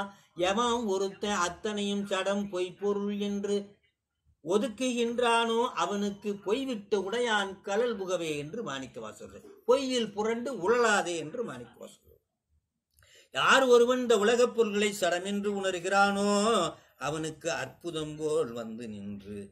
உயிருக்கு சிவம் தனது சுட்டறிவை கடந்து நிற்பதால் சூனியம் போல் முன்னர் தோன்றி. திடீர்னு தன்னை ஒருத்தன் இழந்துட்டான். திடீர்னு உலகப் பொருள்களையும் இழந்துட்டான். திடீர்னு ஒரு சூனியம் மாதிரி தெரியுமா? ஒண்ணுமே இல்லை. நமக்கு மேல என்னன்னு தெரியாத ஒரு நிலை இருக்குமா? பிறகு என்ன நடக்குமா? ஆனா அறிவாய் தோன்றானோ? பின்னர் சுற்று இறந்து அறியும் தன் அறிவினிடத்தில் சோதிக்குள் சோதியாய் இறைவன் தோன்றுவான் என்றவார். சோதிக்குள் சோதியா உயிருக்கு உயிராய் இறைவன் தோன்றுவான். உயிருக்கு அதை உள்ளத்து ஒழிக்கும் ஒளியானே என்று சொல்வார் உயிருக்கு உயிராய் நின்று அறிவிப்பான் என்று சொல்றதுதான் உடனாய் என்று பொருள். அப்பொழுது உடனாய் இருக்கின்ற அந்த பரம்பொருளை நாம் உணரலாம். சுருக்கமா சொன்னால் அத்தனை பொருள்களும் பொய் என்று நீ பார்த்தால் அற்புதமாக இறைவன் சோதிக்கு சோதியாய் தோன்றுவான். உயிருக்கு உயிராய் தோன்றுவான். சோதி என்றால் முதல் சோதி உயிர் இரண்டாவது சோதி சிவம். சோதிக்குள் சோதியாய் தோன்றுவான் சிவப்பரம்பொருள் என்பதைத்தான் இங்கே நம்ம சொல்றாங்க. அடுத்த வெண்பா நிலையில்லாத உலகம் நீங்கிய போது தோன்றுவது சிவமேயாம். நிலையில்லாத உலகம் நீங்கிய போது தோன்றுவது சிவமேயாம். சுட்டி உணர்வதனை சுட்டி அசத்து என்ன சட்ட இனி உளது சத்தேகான். சுட்டி உணர்த்த நீ சத்து அல்லை. உண்மையை தெய்வம் புணர்ந்ததனால் பொய்வி பொய்விட்டு போம். அதாவது நிலையில்லாத உலகத்தை நாம் ஒதுக்கணும்னா தோன்றுவது சிவமே. திருப்பி திருப்பி அதே வித்தியாச வித்தியாசமான உதாரணங்களோட வெண்பாக்களோட சொல்றார். உலகப் பொருள்களை ஒதுக்கினால் சிவப்பரம்பொருள் புலப்படுவான் என்பதுதான் இந்த பாடலிலே முக்கியமான வெண்பாக்களும் சுட்டி உணர்வதை சுட்டு அசத்து என ஒவ்வொரு தத்துவமாக சுட்டி அறிந்து கண்டு பின் நீக்கிக் கொண்டு சென்றபோது இது கண்ணு இது காது இது மூக்கு இது மனம் புத்தி என்று முப்பத்தி ஆறு தத்துவங்களையும் கடந்து தள்ளிக்கொண்டு போகும்பொழுது முடிவில் நிறைந்த பொருளாய் இருப்பது அந்த சத்தே. கடைசியில கீழே மண்ணுல இருந்து அப்படி ஒன்னொன்னா கழிச்சுக்கிட்டே மேலே போனேன்னா சுத்த அஹ், வித்தையை கடந்து சதாக்கியத்தை கடந்து நாதவிந்த கடந்து போனா ஆதிசக்தியை கடந்து போனா கடைசியில் நிற்பது பரம்பொருள். முதலில் நிறைந்த பொருளாய் இருப்பது சத்தே. அதை இறை அன்று உயிர் என்றால் அதை இறை அன்று உயிர் என்றால் அதாவது ஒவ்வொரு பொருளாய் சுற்றி அறிந்த உயிராகிய நீ அசத்தின் வேறான சத்து ஆகாய். அப்ப அதை என்ன சொல்றோமா? இறையன்று அப்படி அறிந்த பொருள் இறையன்று உயிர் என்றார். அப்படின்னா உயிர் ஏன் சொல்றோம்? ஏன் தெரியுமா? நீ இறை இல்லை. நீ உயிர் என்று ஏன் சொல்கிறோம் என்று தெரியுமா? ஒவ்வொரு பொருளாய் சுற்றி அறிந்த உயிர் ஆகிய நீ அசத்தின் வேறான ஒரு பொருள். ஆனால் சத்தும் இல்லை. ஏன்னா நீ அறிந்தது பூரா என்னது? அழியக்கூடிய ஒரு பொருள். நீ ஒன்று அறிந்தாய். ஆனா அழிய முடியாத ஒரு பொருள் இருக்கிறது. ஆகவே நீ அழியக்கூடிய அறிந்த ஒரு பொருள் நீ. ஆகவே நீ அசத்தும் அல்லை. அசத் அதை நீ வந்து சத்தும் அல்லை என்று இங்க சொல்றார். இதுவரை அசத்தோடு கூடி அசத்தை சுட்டி அறிந்த நீ அசத்தை நீங்கி சத்தோடு கூடினாள் இவ்வளவு காலம் அசத்தை பிடிச்சி புடிச்சிட்டு இருந்த என் காரி என் பங்களா என் தோட்டம் ஏன் மனைவி என் பக்கல் என் கால் என் கை என் மனை என் பதி என்று இருந்தேயே. சுட்டு உணரும் உணர்வு. ஆகவே இவ்வாறாக இதுவரை அசத்தோடு கூடி அசத்தை சுட்டி அறிந்த நீ அசத்தை நீங்கி சத்தோடு கூடினார். சத்தோடு கூடுறதுன்னு உடனே எல்லாரும் விட்டுட்டு நான் இப்பயே கிளம்பிடுறேன் கைலாயத்துக்குன்னு பைய தூக்கிட்டு போடுறாதீங்க அது கிடையாது. எல்லாம் நம்மளுடைய இருக்கும். நம்ம எல்லா ஆத்தோடையும் வாழ்வோம். அத்தனையும் சத்தாக பாவிக்கணும்.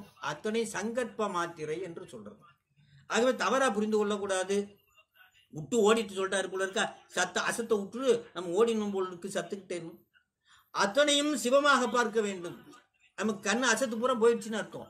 எல்லாமே இப்போ காணு அதை ஒரு பூவை பார்த்தா தலையில் வைக்கணும்னு ஒருத்தவங்களுக்கு தோணும். ஒரு பூவை பார்த்து சாமிக்கு வைக்கணும்னு தோணும். ஒருத்தவங்களுக்கு பூவே சாமியாக தெரியும். கீழே கிடந்தா சாணி டேபிளுக்கு வந்தால் சாமி. கீழே கிடந்தா பேப்பரு போட்டோவில் இருந்தால் சாமி. அவன் நினைப்பவர் மனம் கோயிலா கொண்டம். எதில் நினைச்சியோ அதில் வந்து உட்கார்ந்துருவான் பாவன் அப்படின்றார்.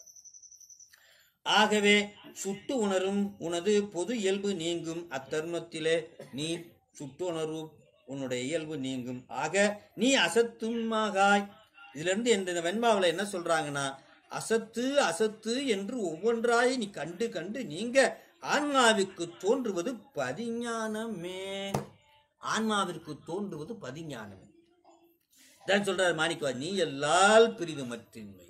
நீ எல்லால் பிரிது மற்றின்மை என்று ஏற்கனவே அதை பத்தி சொல்லிட்டோம். அடுத்ததாக உதாரணம் என்பா ஐம்பத்தெட்டு. சிவம் நான் என்னும் அகப்பூசையில் சிவம் விளங்கி தோன்றும். நான் சொன்னேன் அகப்பூசை தான் இந்த பாட்டில் முக்கியமாக சொல்ல போகிறாங்க இந்த உதாரணம் இந்த சூத்திரத்தில் அகப்பூசையில் தான் பதிஞானம் விளங்கி தோன்றும் உள்ள மெ- மெருகி ஏறும் அப்படின்னு சொல்லி நீயும் நானும் ஏகபோகமாய் நிற்பதற்கு அவனை காண்பதற்கு மிகச்சிறந்த பூசை எதுவென்றால் அகப்பூசை. அகப்பூசைக்கு ஆதாரமாக இருப்பதுதான் புறப்பூசை. புறப்பூசையை நம்ம செய்ய செய்ய அகப்பூசை மிகச் சிறப்பாக செய்ய முடியும். பிரபூசையினும் உயர்ந்தது. அகப்பூசை என்பதை மறக்கக்கூடாது. கண்டதை அன்று அன்று என விட்டு கண்டு அசத்தாய். அண்டனை ஆன்மாவில் ஆய்ந்து உணர பண்டு அண பண்டு அணைந்த ஊனத்தை தான் விடுமாறு உத்தமனின் உன் கருட சாணத்தில் தீவிடம் போல் தான். கருட சாணம்னா கருட தியானம். ஒருத்தனுக்கு பாம்பு கடிச்சிடுமா? பாம்பு கடிச்ச உடனே கருட தியானம் பண்ணுவானா? அப்படியே அந்த கருடனுடைய ஆற்றல் வருமா? பாம்புடைய விஷத்தை முறிச்சிடுமா? அதுபோல சிவப்பரம்பொருளை நினைத்து நாம என்ன பண்ணணுமா? ஆணவம் என்ற விஷத்தை ஒழிக்கணுமா? அதான் இந்த பாட்டில் சொல்றாங்க. நிலையற்றது என்று எல்லா பொருளையும் நீக்கிய போது கண்டதை அன்று அன்று என கண்டு அசத்தாய் விட்டு உலகப் பொருட்களை எல்லாம் நிலையற்றது நிலையற்றது காரு பங்களா எல்லாம் மனைவி மக்கள் அத்தனை நிலையற்றது. எல்லாம் நூறு வருஷம் இருந்துட்டு போயிடும் பொட்டியை கட்டிடும் அப்படின்னு முடிவு பண்ணிடணும். நிலையற்றது என்று ஒதுக்க அந்நிலையில் சிவத்தை ஆய்ந்து அச்சிவம்தான் என பாவிக்க அந்நிலையில் அச்சிவம்தான் என பாவிக்க மெய்ப்பொருளே நீதான் என்று உன்னை அகத்திலே பாவிக்க உள்ள வச்சு பாவிக்கணுமா? பாவிப்பவனுடைய அறிவில் சிவம் பிரிப்பின்றி விளங்கி தோன்றுவான். உள்ள வச்சு பூஜை அவன் பண்றானோ பாவிக்கின்றானோ அங்கே சிவம் விளங்கி தோன்றுவான். எவ்வாறு எனில் கருட தியானத்தில் தியானிப்பவரிடத்து தெய்வத்தன்மை நிறைந்த கருடன் தோன்றி பாம்பு கடிப்பட்டவன் விஷம் நீங்குவது போல உயிரின் அனாதி குற்றமாகிய ஆணவம் அனாதி விஷமாகிய ஆணவம் நீங்கும் என்று சொல்லார். ஆகவே அசத்தை அசத்து என்று நீக்கி சிவம்தாம் என பாவித்தால் அதன் மூலம் தன் அறிவால் சிவம் தோன்றுவான் அந்நிலையில் அனாதிப்பற்றாகிய ஆணவம் நீங்கும். கருடன் தோன்றி பாம்பு விஷத்தை முறிக்கிற மாதிரி அகத்தே பூஜை செய்தால் சிவன் விளங்கி தோன்றி நம்மளுடைய அனாதிப்பற்றாகிய ஆணவத்தை நீக்குவான் என்று இந்த பாடல்ல சொல்றாங்க. அடுத்ததாக மூன்றாம் அதிகரணம் மேற்கோள். இவ்விடத்து சி பஞ்சாக்கரத்தை விதிப்படி உச்சரிக்க. அஞ்சலத்தை விதிப்படி உச்சரிக்க. இவ்வான்மாக்களுக்கு ஞானம் பிரகாசித்தும் அஞ்ஞானத்தை வேம்பு தின்ற புழு போல நோக்கிற்ற நோக்கி நிற்குமாகளில் அது நீங்குதற்கு என கொள்க. வேப்ப மரத்தில் ஒரு புழு இருந்துச்சா? பல நாள் கூடு கட்டி. அந்த கூடு அந்த புழு என்ன படிச்சா? வேம்ப சுரண்டி சுரண்டி ருசி பார்த்துக்கிட்டே இருந்ததான் வேம்பு சுவை நல்ல கசப்பா நல்லா அதுக்கு டேஸ்டா இருந்ததா? நமக்கு தான் கசக்கும். அதுக்கு நல்ல டேஸ்டா சாப்பிட்டுச்சான் அது பிறந்ததுலேருந்தே வேம்பு சுவை தான் சாப்பிட்டுச்சான் திடீர்னு கொண்டு போய் கரும்புல போய் மாட்டிக்கிச்சான் கரும்பை சுரண்டி சுரண்டி சாப்பிட்டான் அது இனிச்சது அதுக்கு பிடிக்காத மாதிரி இருந்துச்சான் அது போல வேம்பு தின்ற புழு போல வேம்பு தின்ற புழு கரும்பை கூடும்போது பழைய வேம்பின் சுவையை நோக்குவது போல. கரும்புல என்னதான் இனிப்பா இருந்தாலும் ஆ அந்த சுவை மாதிரி இல்லையே அந்த க வேம்பு கசப்புக்கிற மாதிரி இல்லையே இல்லையேன்னு எங்குச்சான் அதுபோல அசத்தை நீக்க பதி விளங்கி தோன்றும். இந்த கசப்பான உலகத்தை விட்டு நாம இனிப்பான உலகமாகிய பதி உலகத்துக்கு வந்துட்டோம். பதி விளங்கி தோன்றும். கரும்பு போன்று பதி விளங்கி தோன்றும். அப்பொழுது என்ன பண்ணுமா? நாமளும் அந்த புழு போல என்ன பண்ணுமா? பதி விளங்கி தோன்றினாலும் ஐயோ எங்கள் அம்மா விட்டனே. ஐயோ என் மண்ணாட்டியை விட்டனே. ஐயோ என் புள்ளைய விட்டனே. ஐயோ இந்த உலகத்தை விட்டனே. அப்படின்னு காரு என்ன மாதிரி கார் வச்சிருந்தனே அப்படின்னு ஒரு ஏக்க லைட்டா வந்துட்டு போகுமா? அப்படி அந்த பழைய வாசனை எவ்வாறு இருக்கும் என்றால் அந்த வாசனை நீங்குவதற்கு நீ என்ன பண்ணுமா? விதிப்படி பஞ்சாக்கரம் சொல்லணுமா? அப்படி பஞ்சாக்கரம் சொன்னீங்கன்னா அந்த வாசனை ஒன்று விட்டு போயிடுமா? தவா ஓடிக்கணுமா போயிடுமா? அது மாதிரி போயிடுமா. அதைத்தான் இங்க சொல்றார். சிவோகம் பாவனை என்பது என்ன? சிவோகம் பாவனை செய்தால் அது நடக்குமா? அஞ்செழுத்தால் உள்ளம் அரண் உடைமை கண்டு அரணை அஞ்செழுத்தால் அர்ச்சித்து இதயத்தில் அஞ்செழுத்தால் குண்டலியில் செய்து ஓமம் கோதண்டம் சாணிக்குள் அண்டம் சேடனாம் அங்கு என்று சொல்றார். கோதண்டம்னா நெட்டி நடு சாணிக்குன்னா தியானித்து மூன்று இடத்துல தியானிக்கிறது. எப்படின்னா உந்தியில வந்து ஓமகுண்டத்தை நெருப்பை எழுப்பினா எப்பயுமே வயிறு தான் நல்லா கொதிக்கும் நமக்கு. வயிறு எரிச்சலா இருக்கும். இன்னொருத்தனுக்கு நல்லது நடந்தா நமக்கு முதல்ல எரியிற இடம் தெரியுமா? வயிறு எரிச்சல். ஏன் தெரியுமா? அங்கேதான் சூடு அதிகமா இருக்கு. அதுபோல எரியக்கூடிய இடமாக எந்த சூடு வந்தாலும் அங்கேதான் தெரியுமா வயிற்றுல அதே வயிறு எரி எரிகிழை நெருப்பு போன்று இருக்கக்கூடிய இடத்துல ஓம குண்டலத்தை வைக்கணுமா? வச்சு ஆணவம் அந்த கெட்டவைகளை எல்லாம் போட்டு எரிக்கணுமா?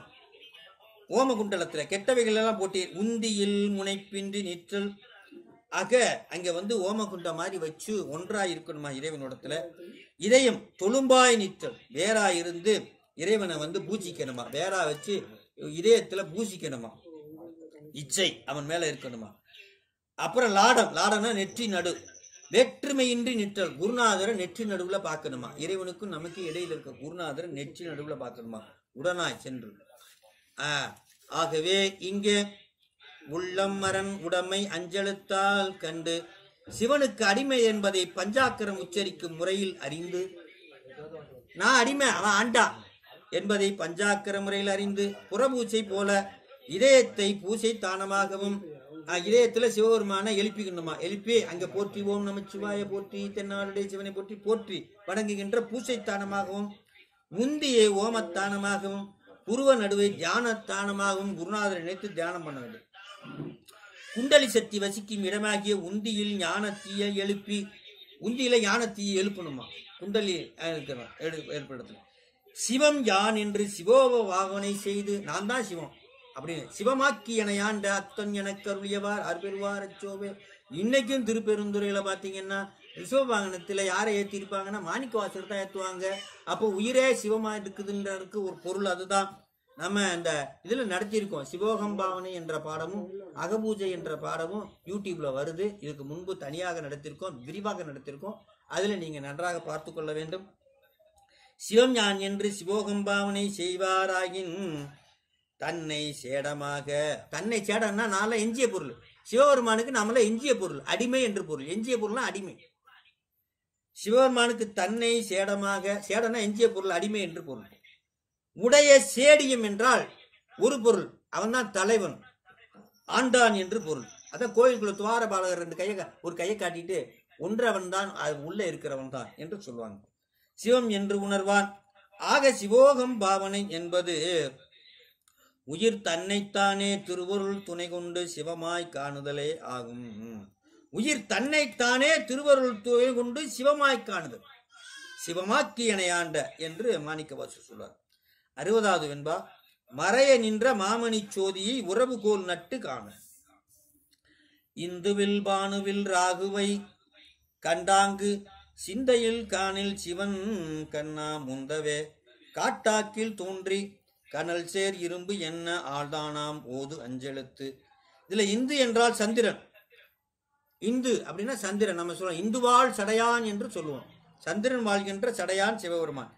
ஆக இந்து என்றால் சந்திரன் பானு என்றால் சூரியன் காட்டாக்கில் என்றால் காஷ்டம் விறகு என்று பொருள். அதுக்குள்ள அக்னி இருக்குமா? விறகுக்குள்ள தீ இருக்கிறது நமக்கு தெரியுமா?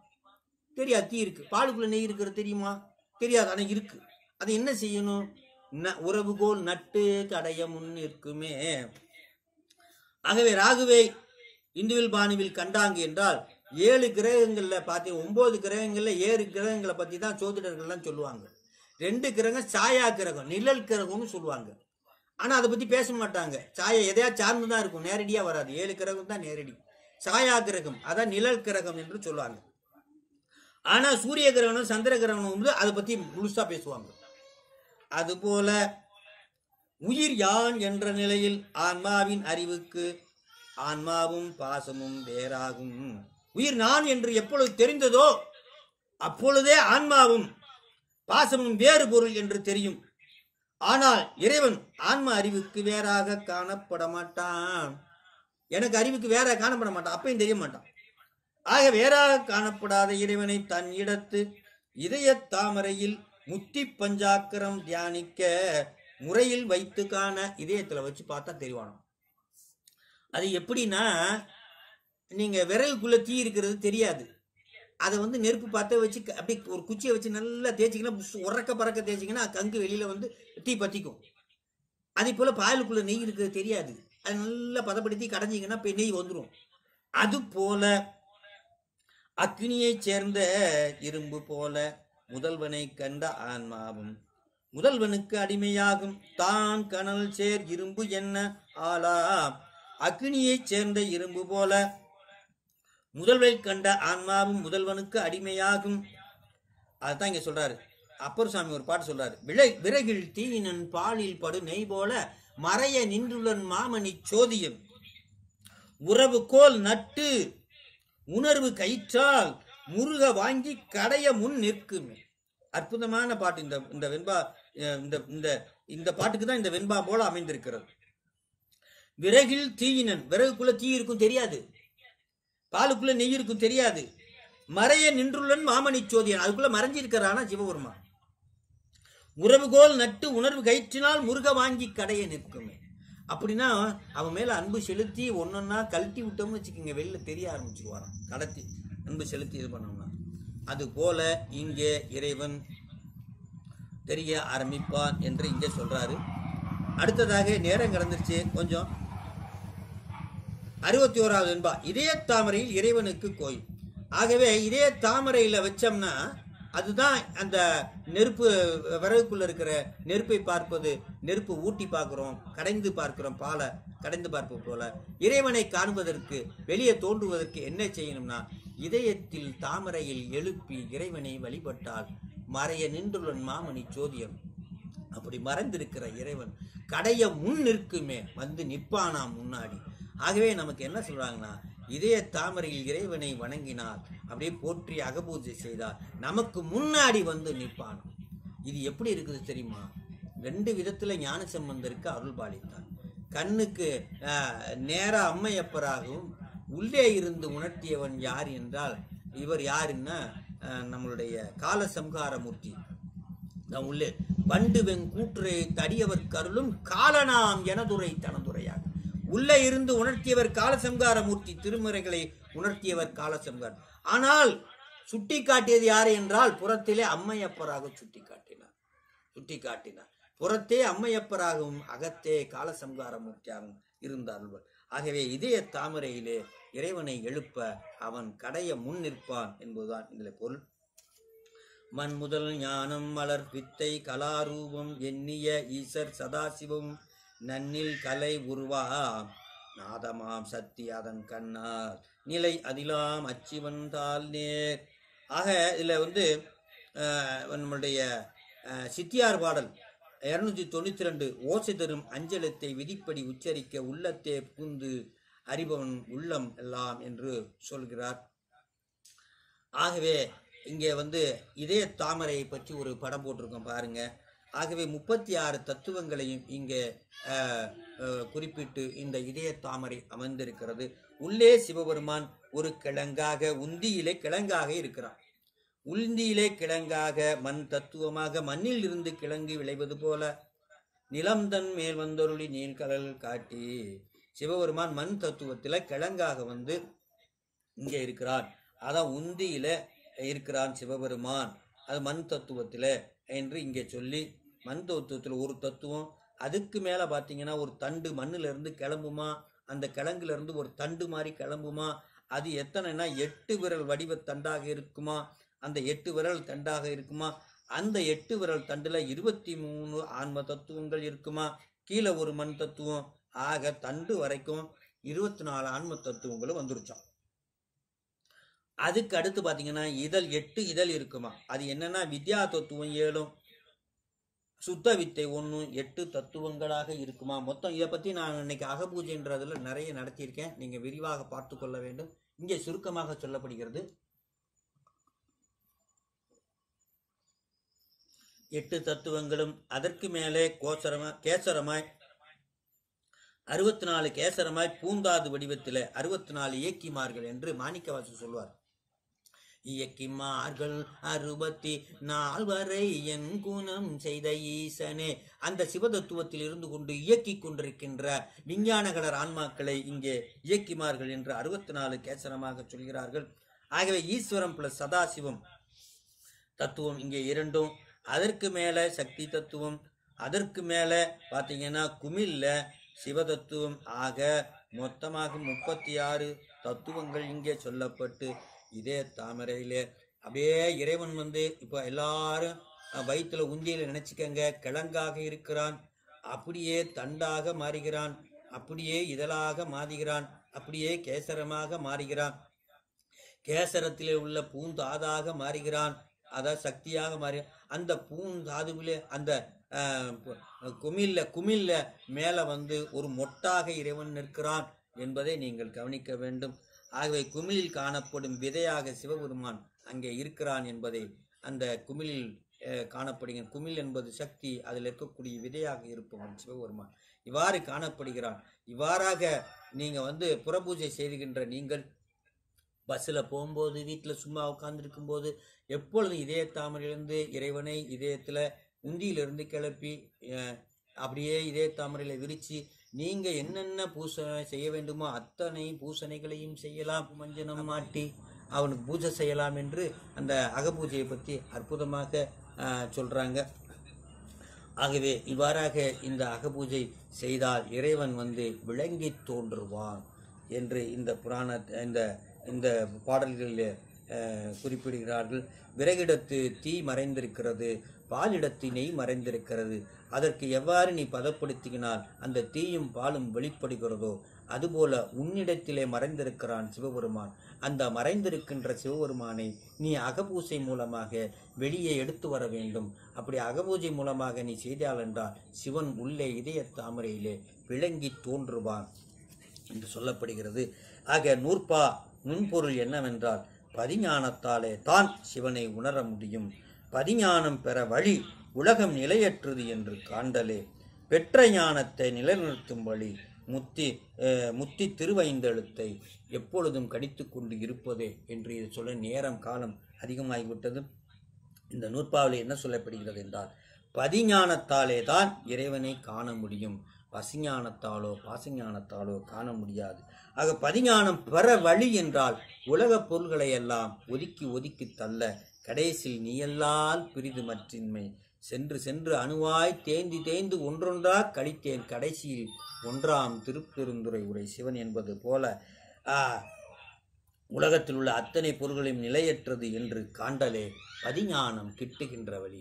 நீங்கள் எல்லா பொருளையும் அப்படியே ஒதுக்கிக்கிட்டே வாங்க. ஒதுக்கிட்டே வரதுனா விட்டு ஓடிகிறது இல்லை எல்லா பொருளையும் ஒதுக்குனா அதுக்குள்ளே இருக்கிற சிவத்தை மட்டும் பாருங்கள் பூவை பாருங்கள் சிவமா தெரியும். கணவனை பாருங்கள் சிவமா தெரியும். மனைவியை பாருங்கள் சிவமா தெரியும்.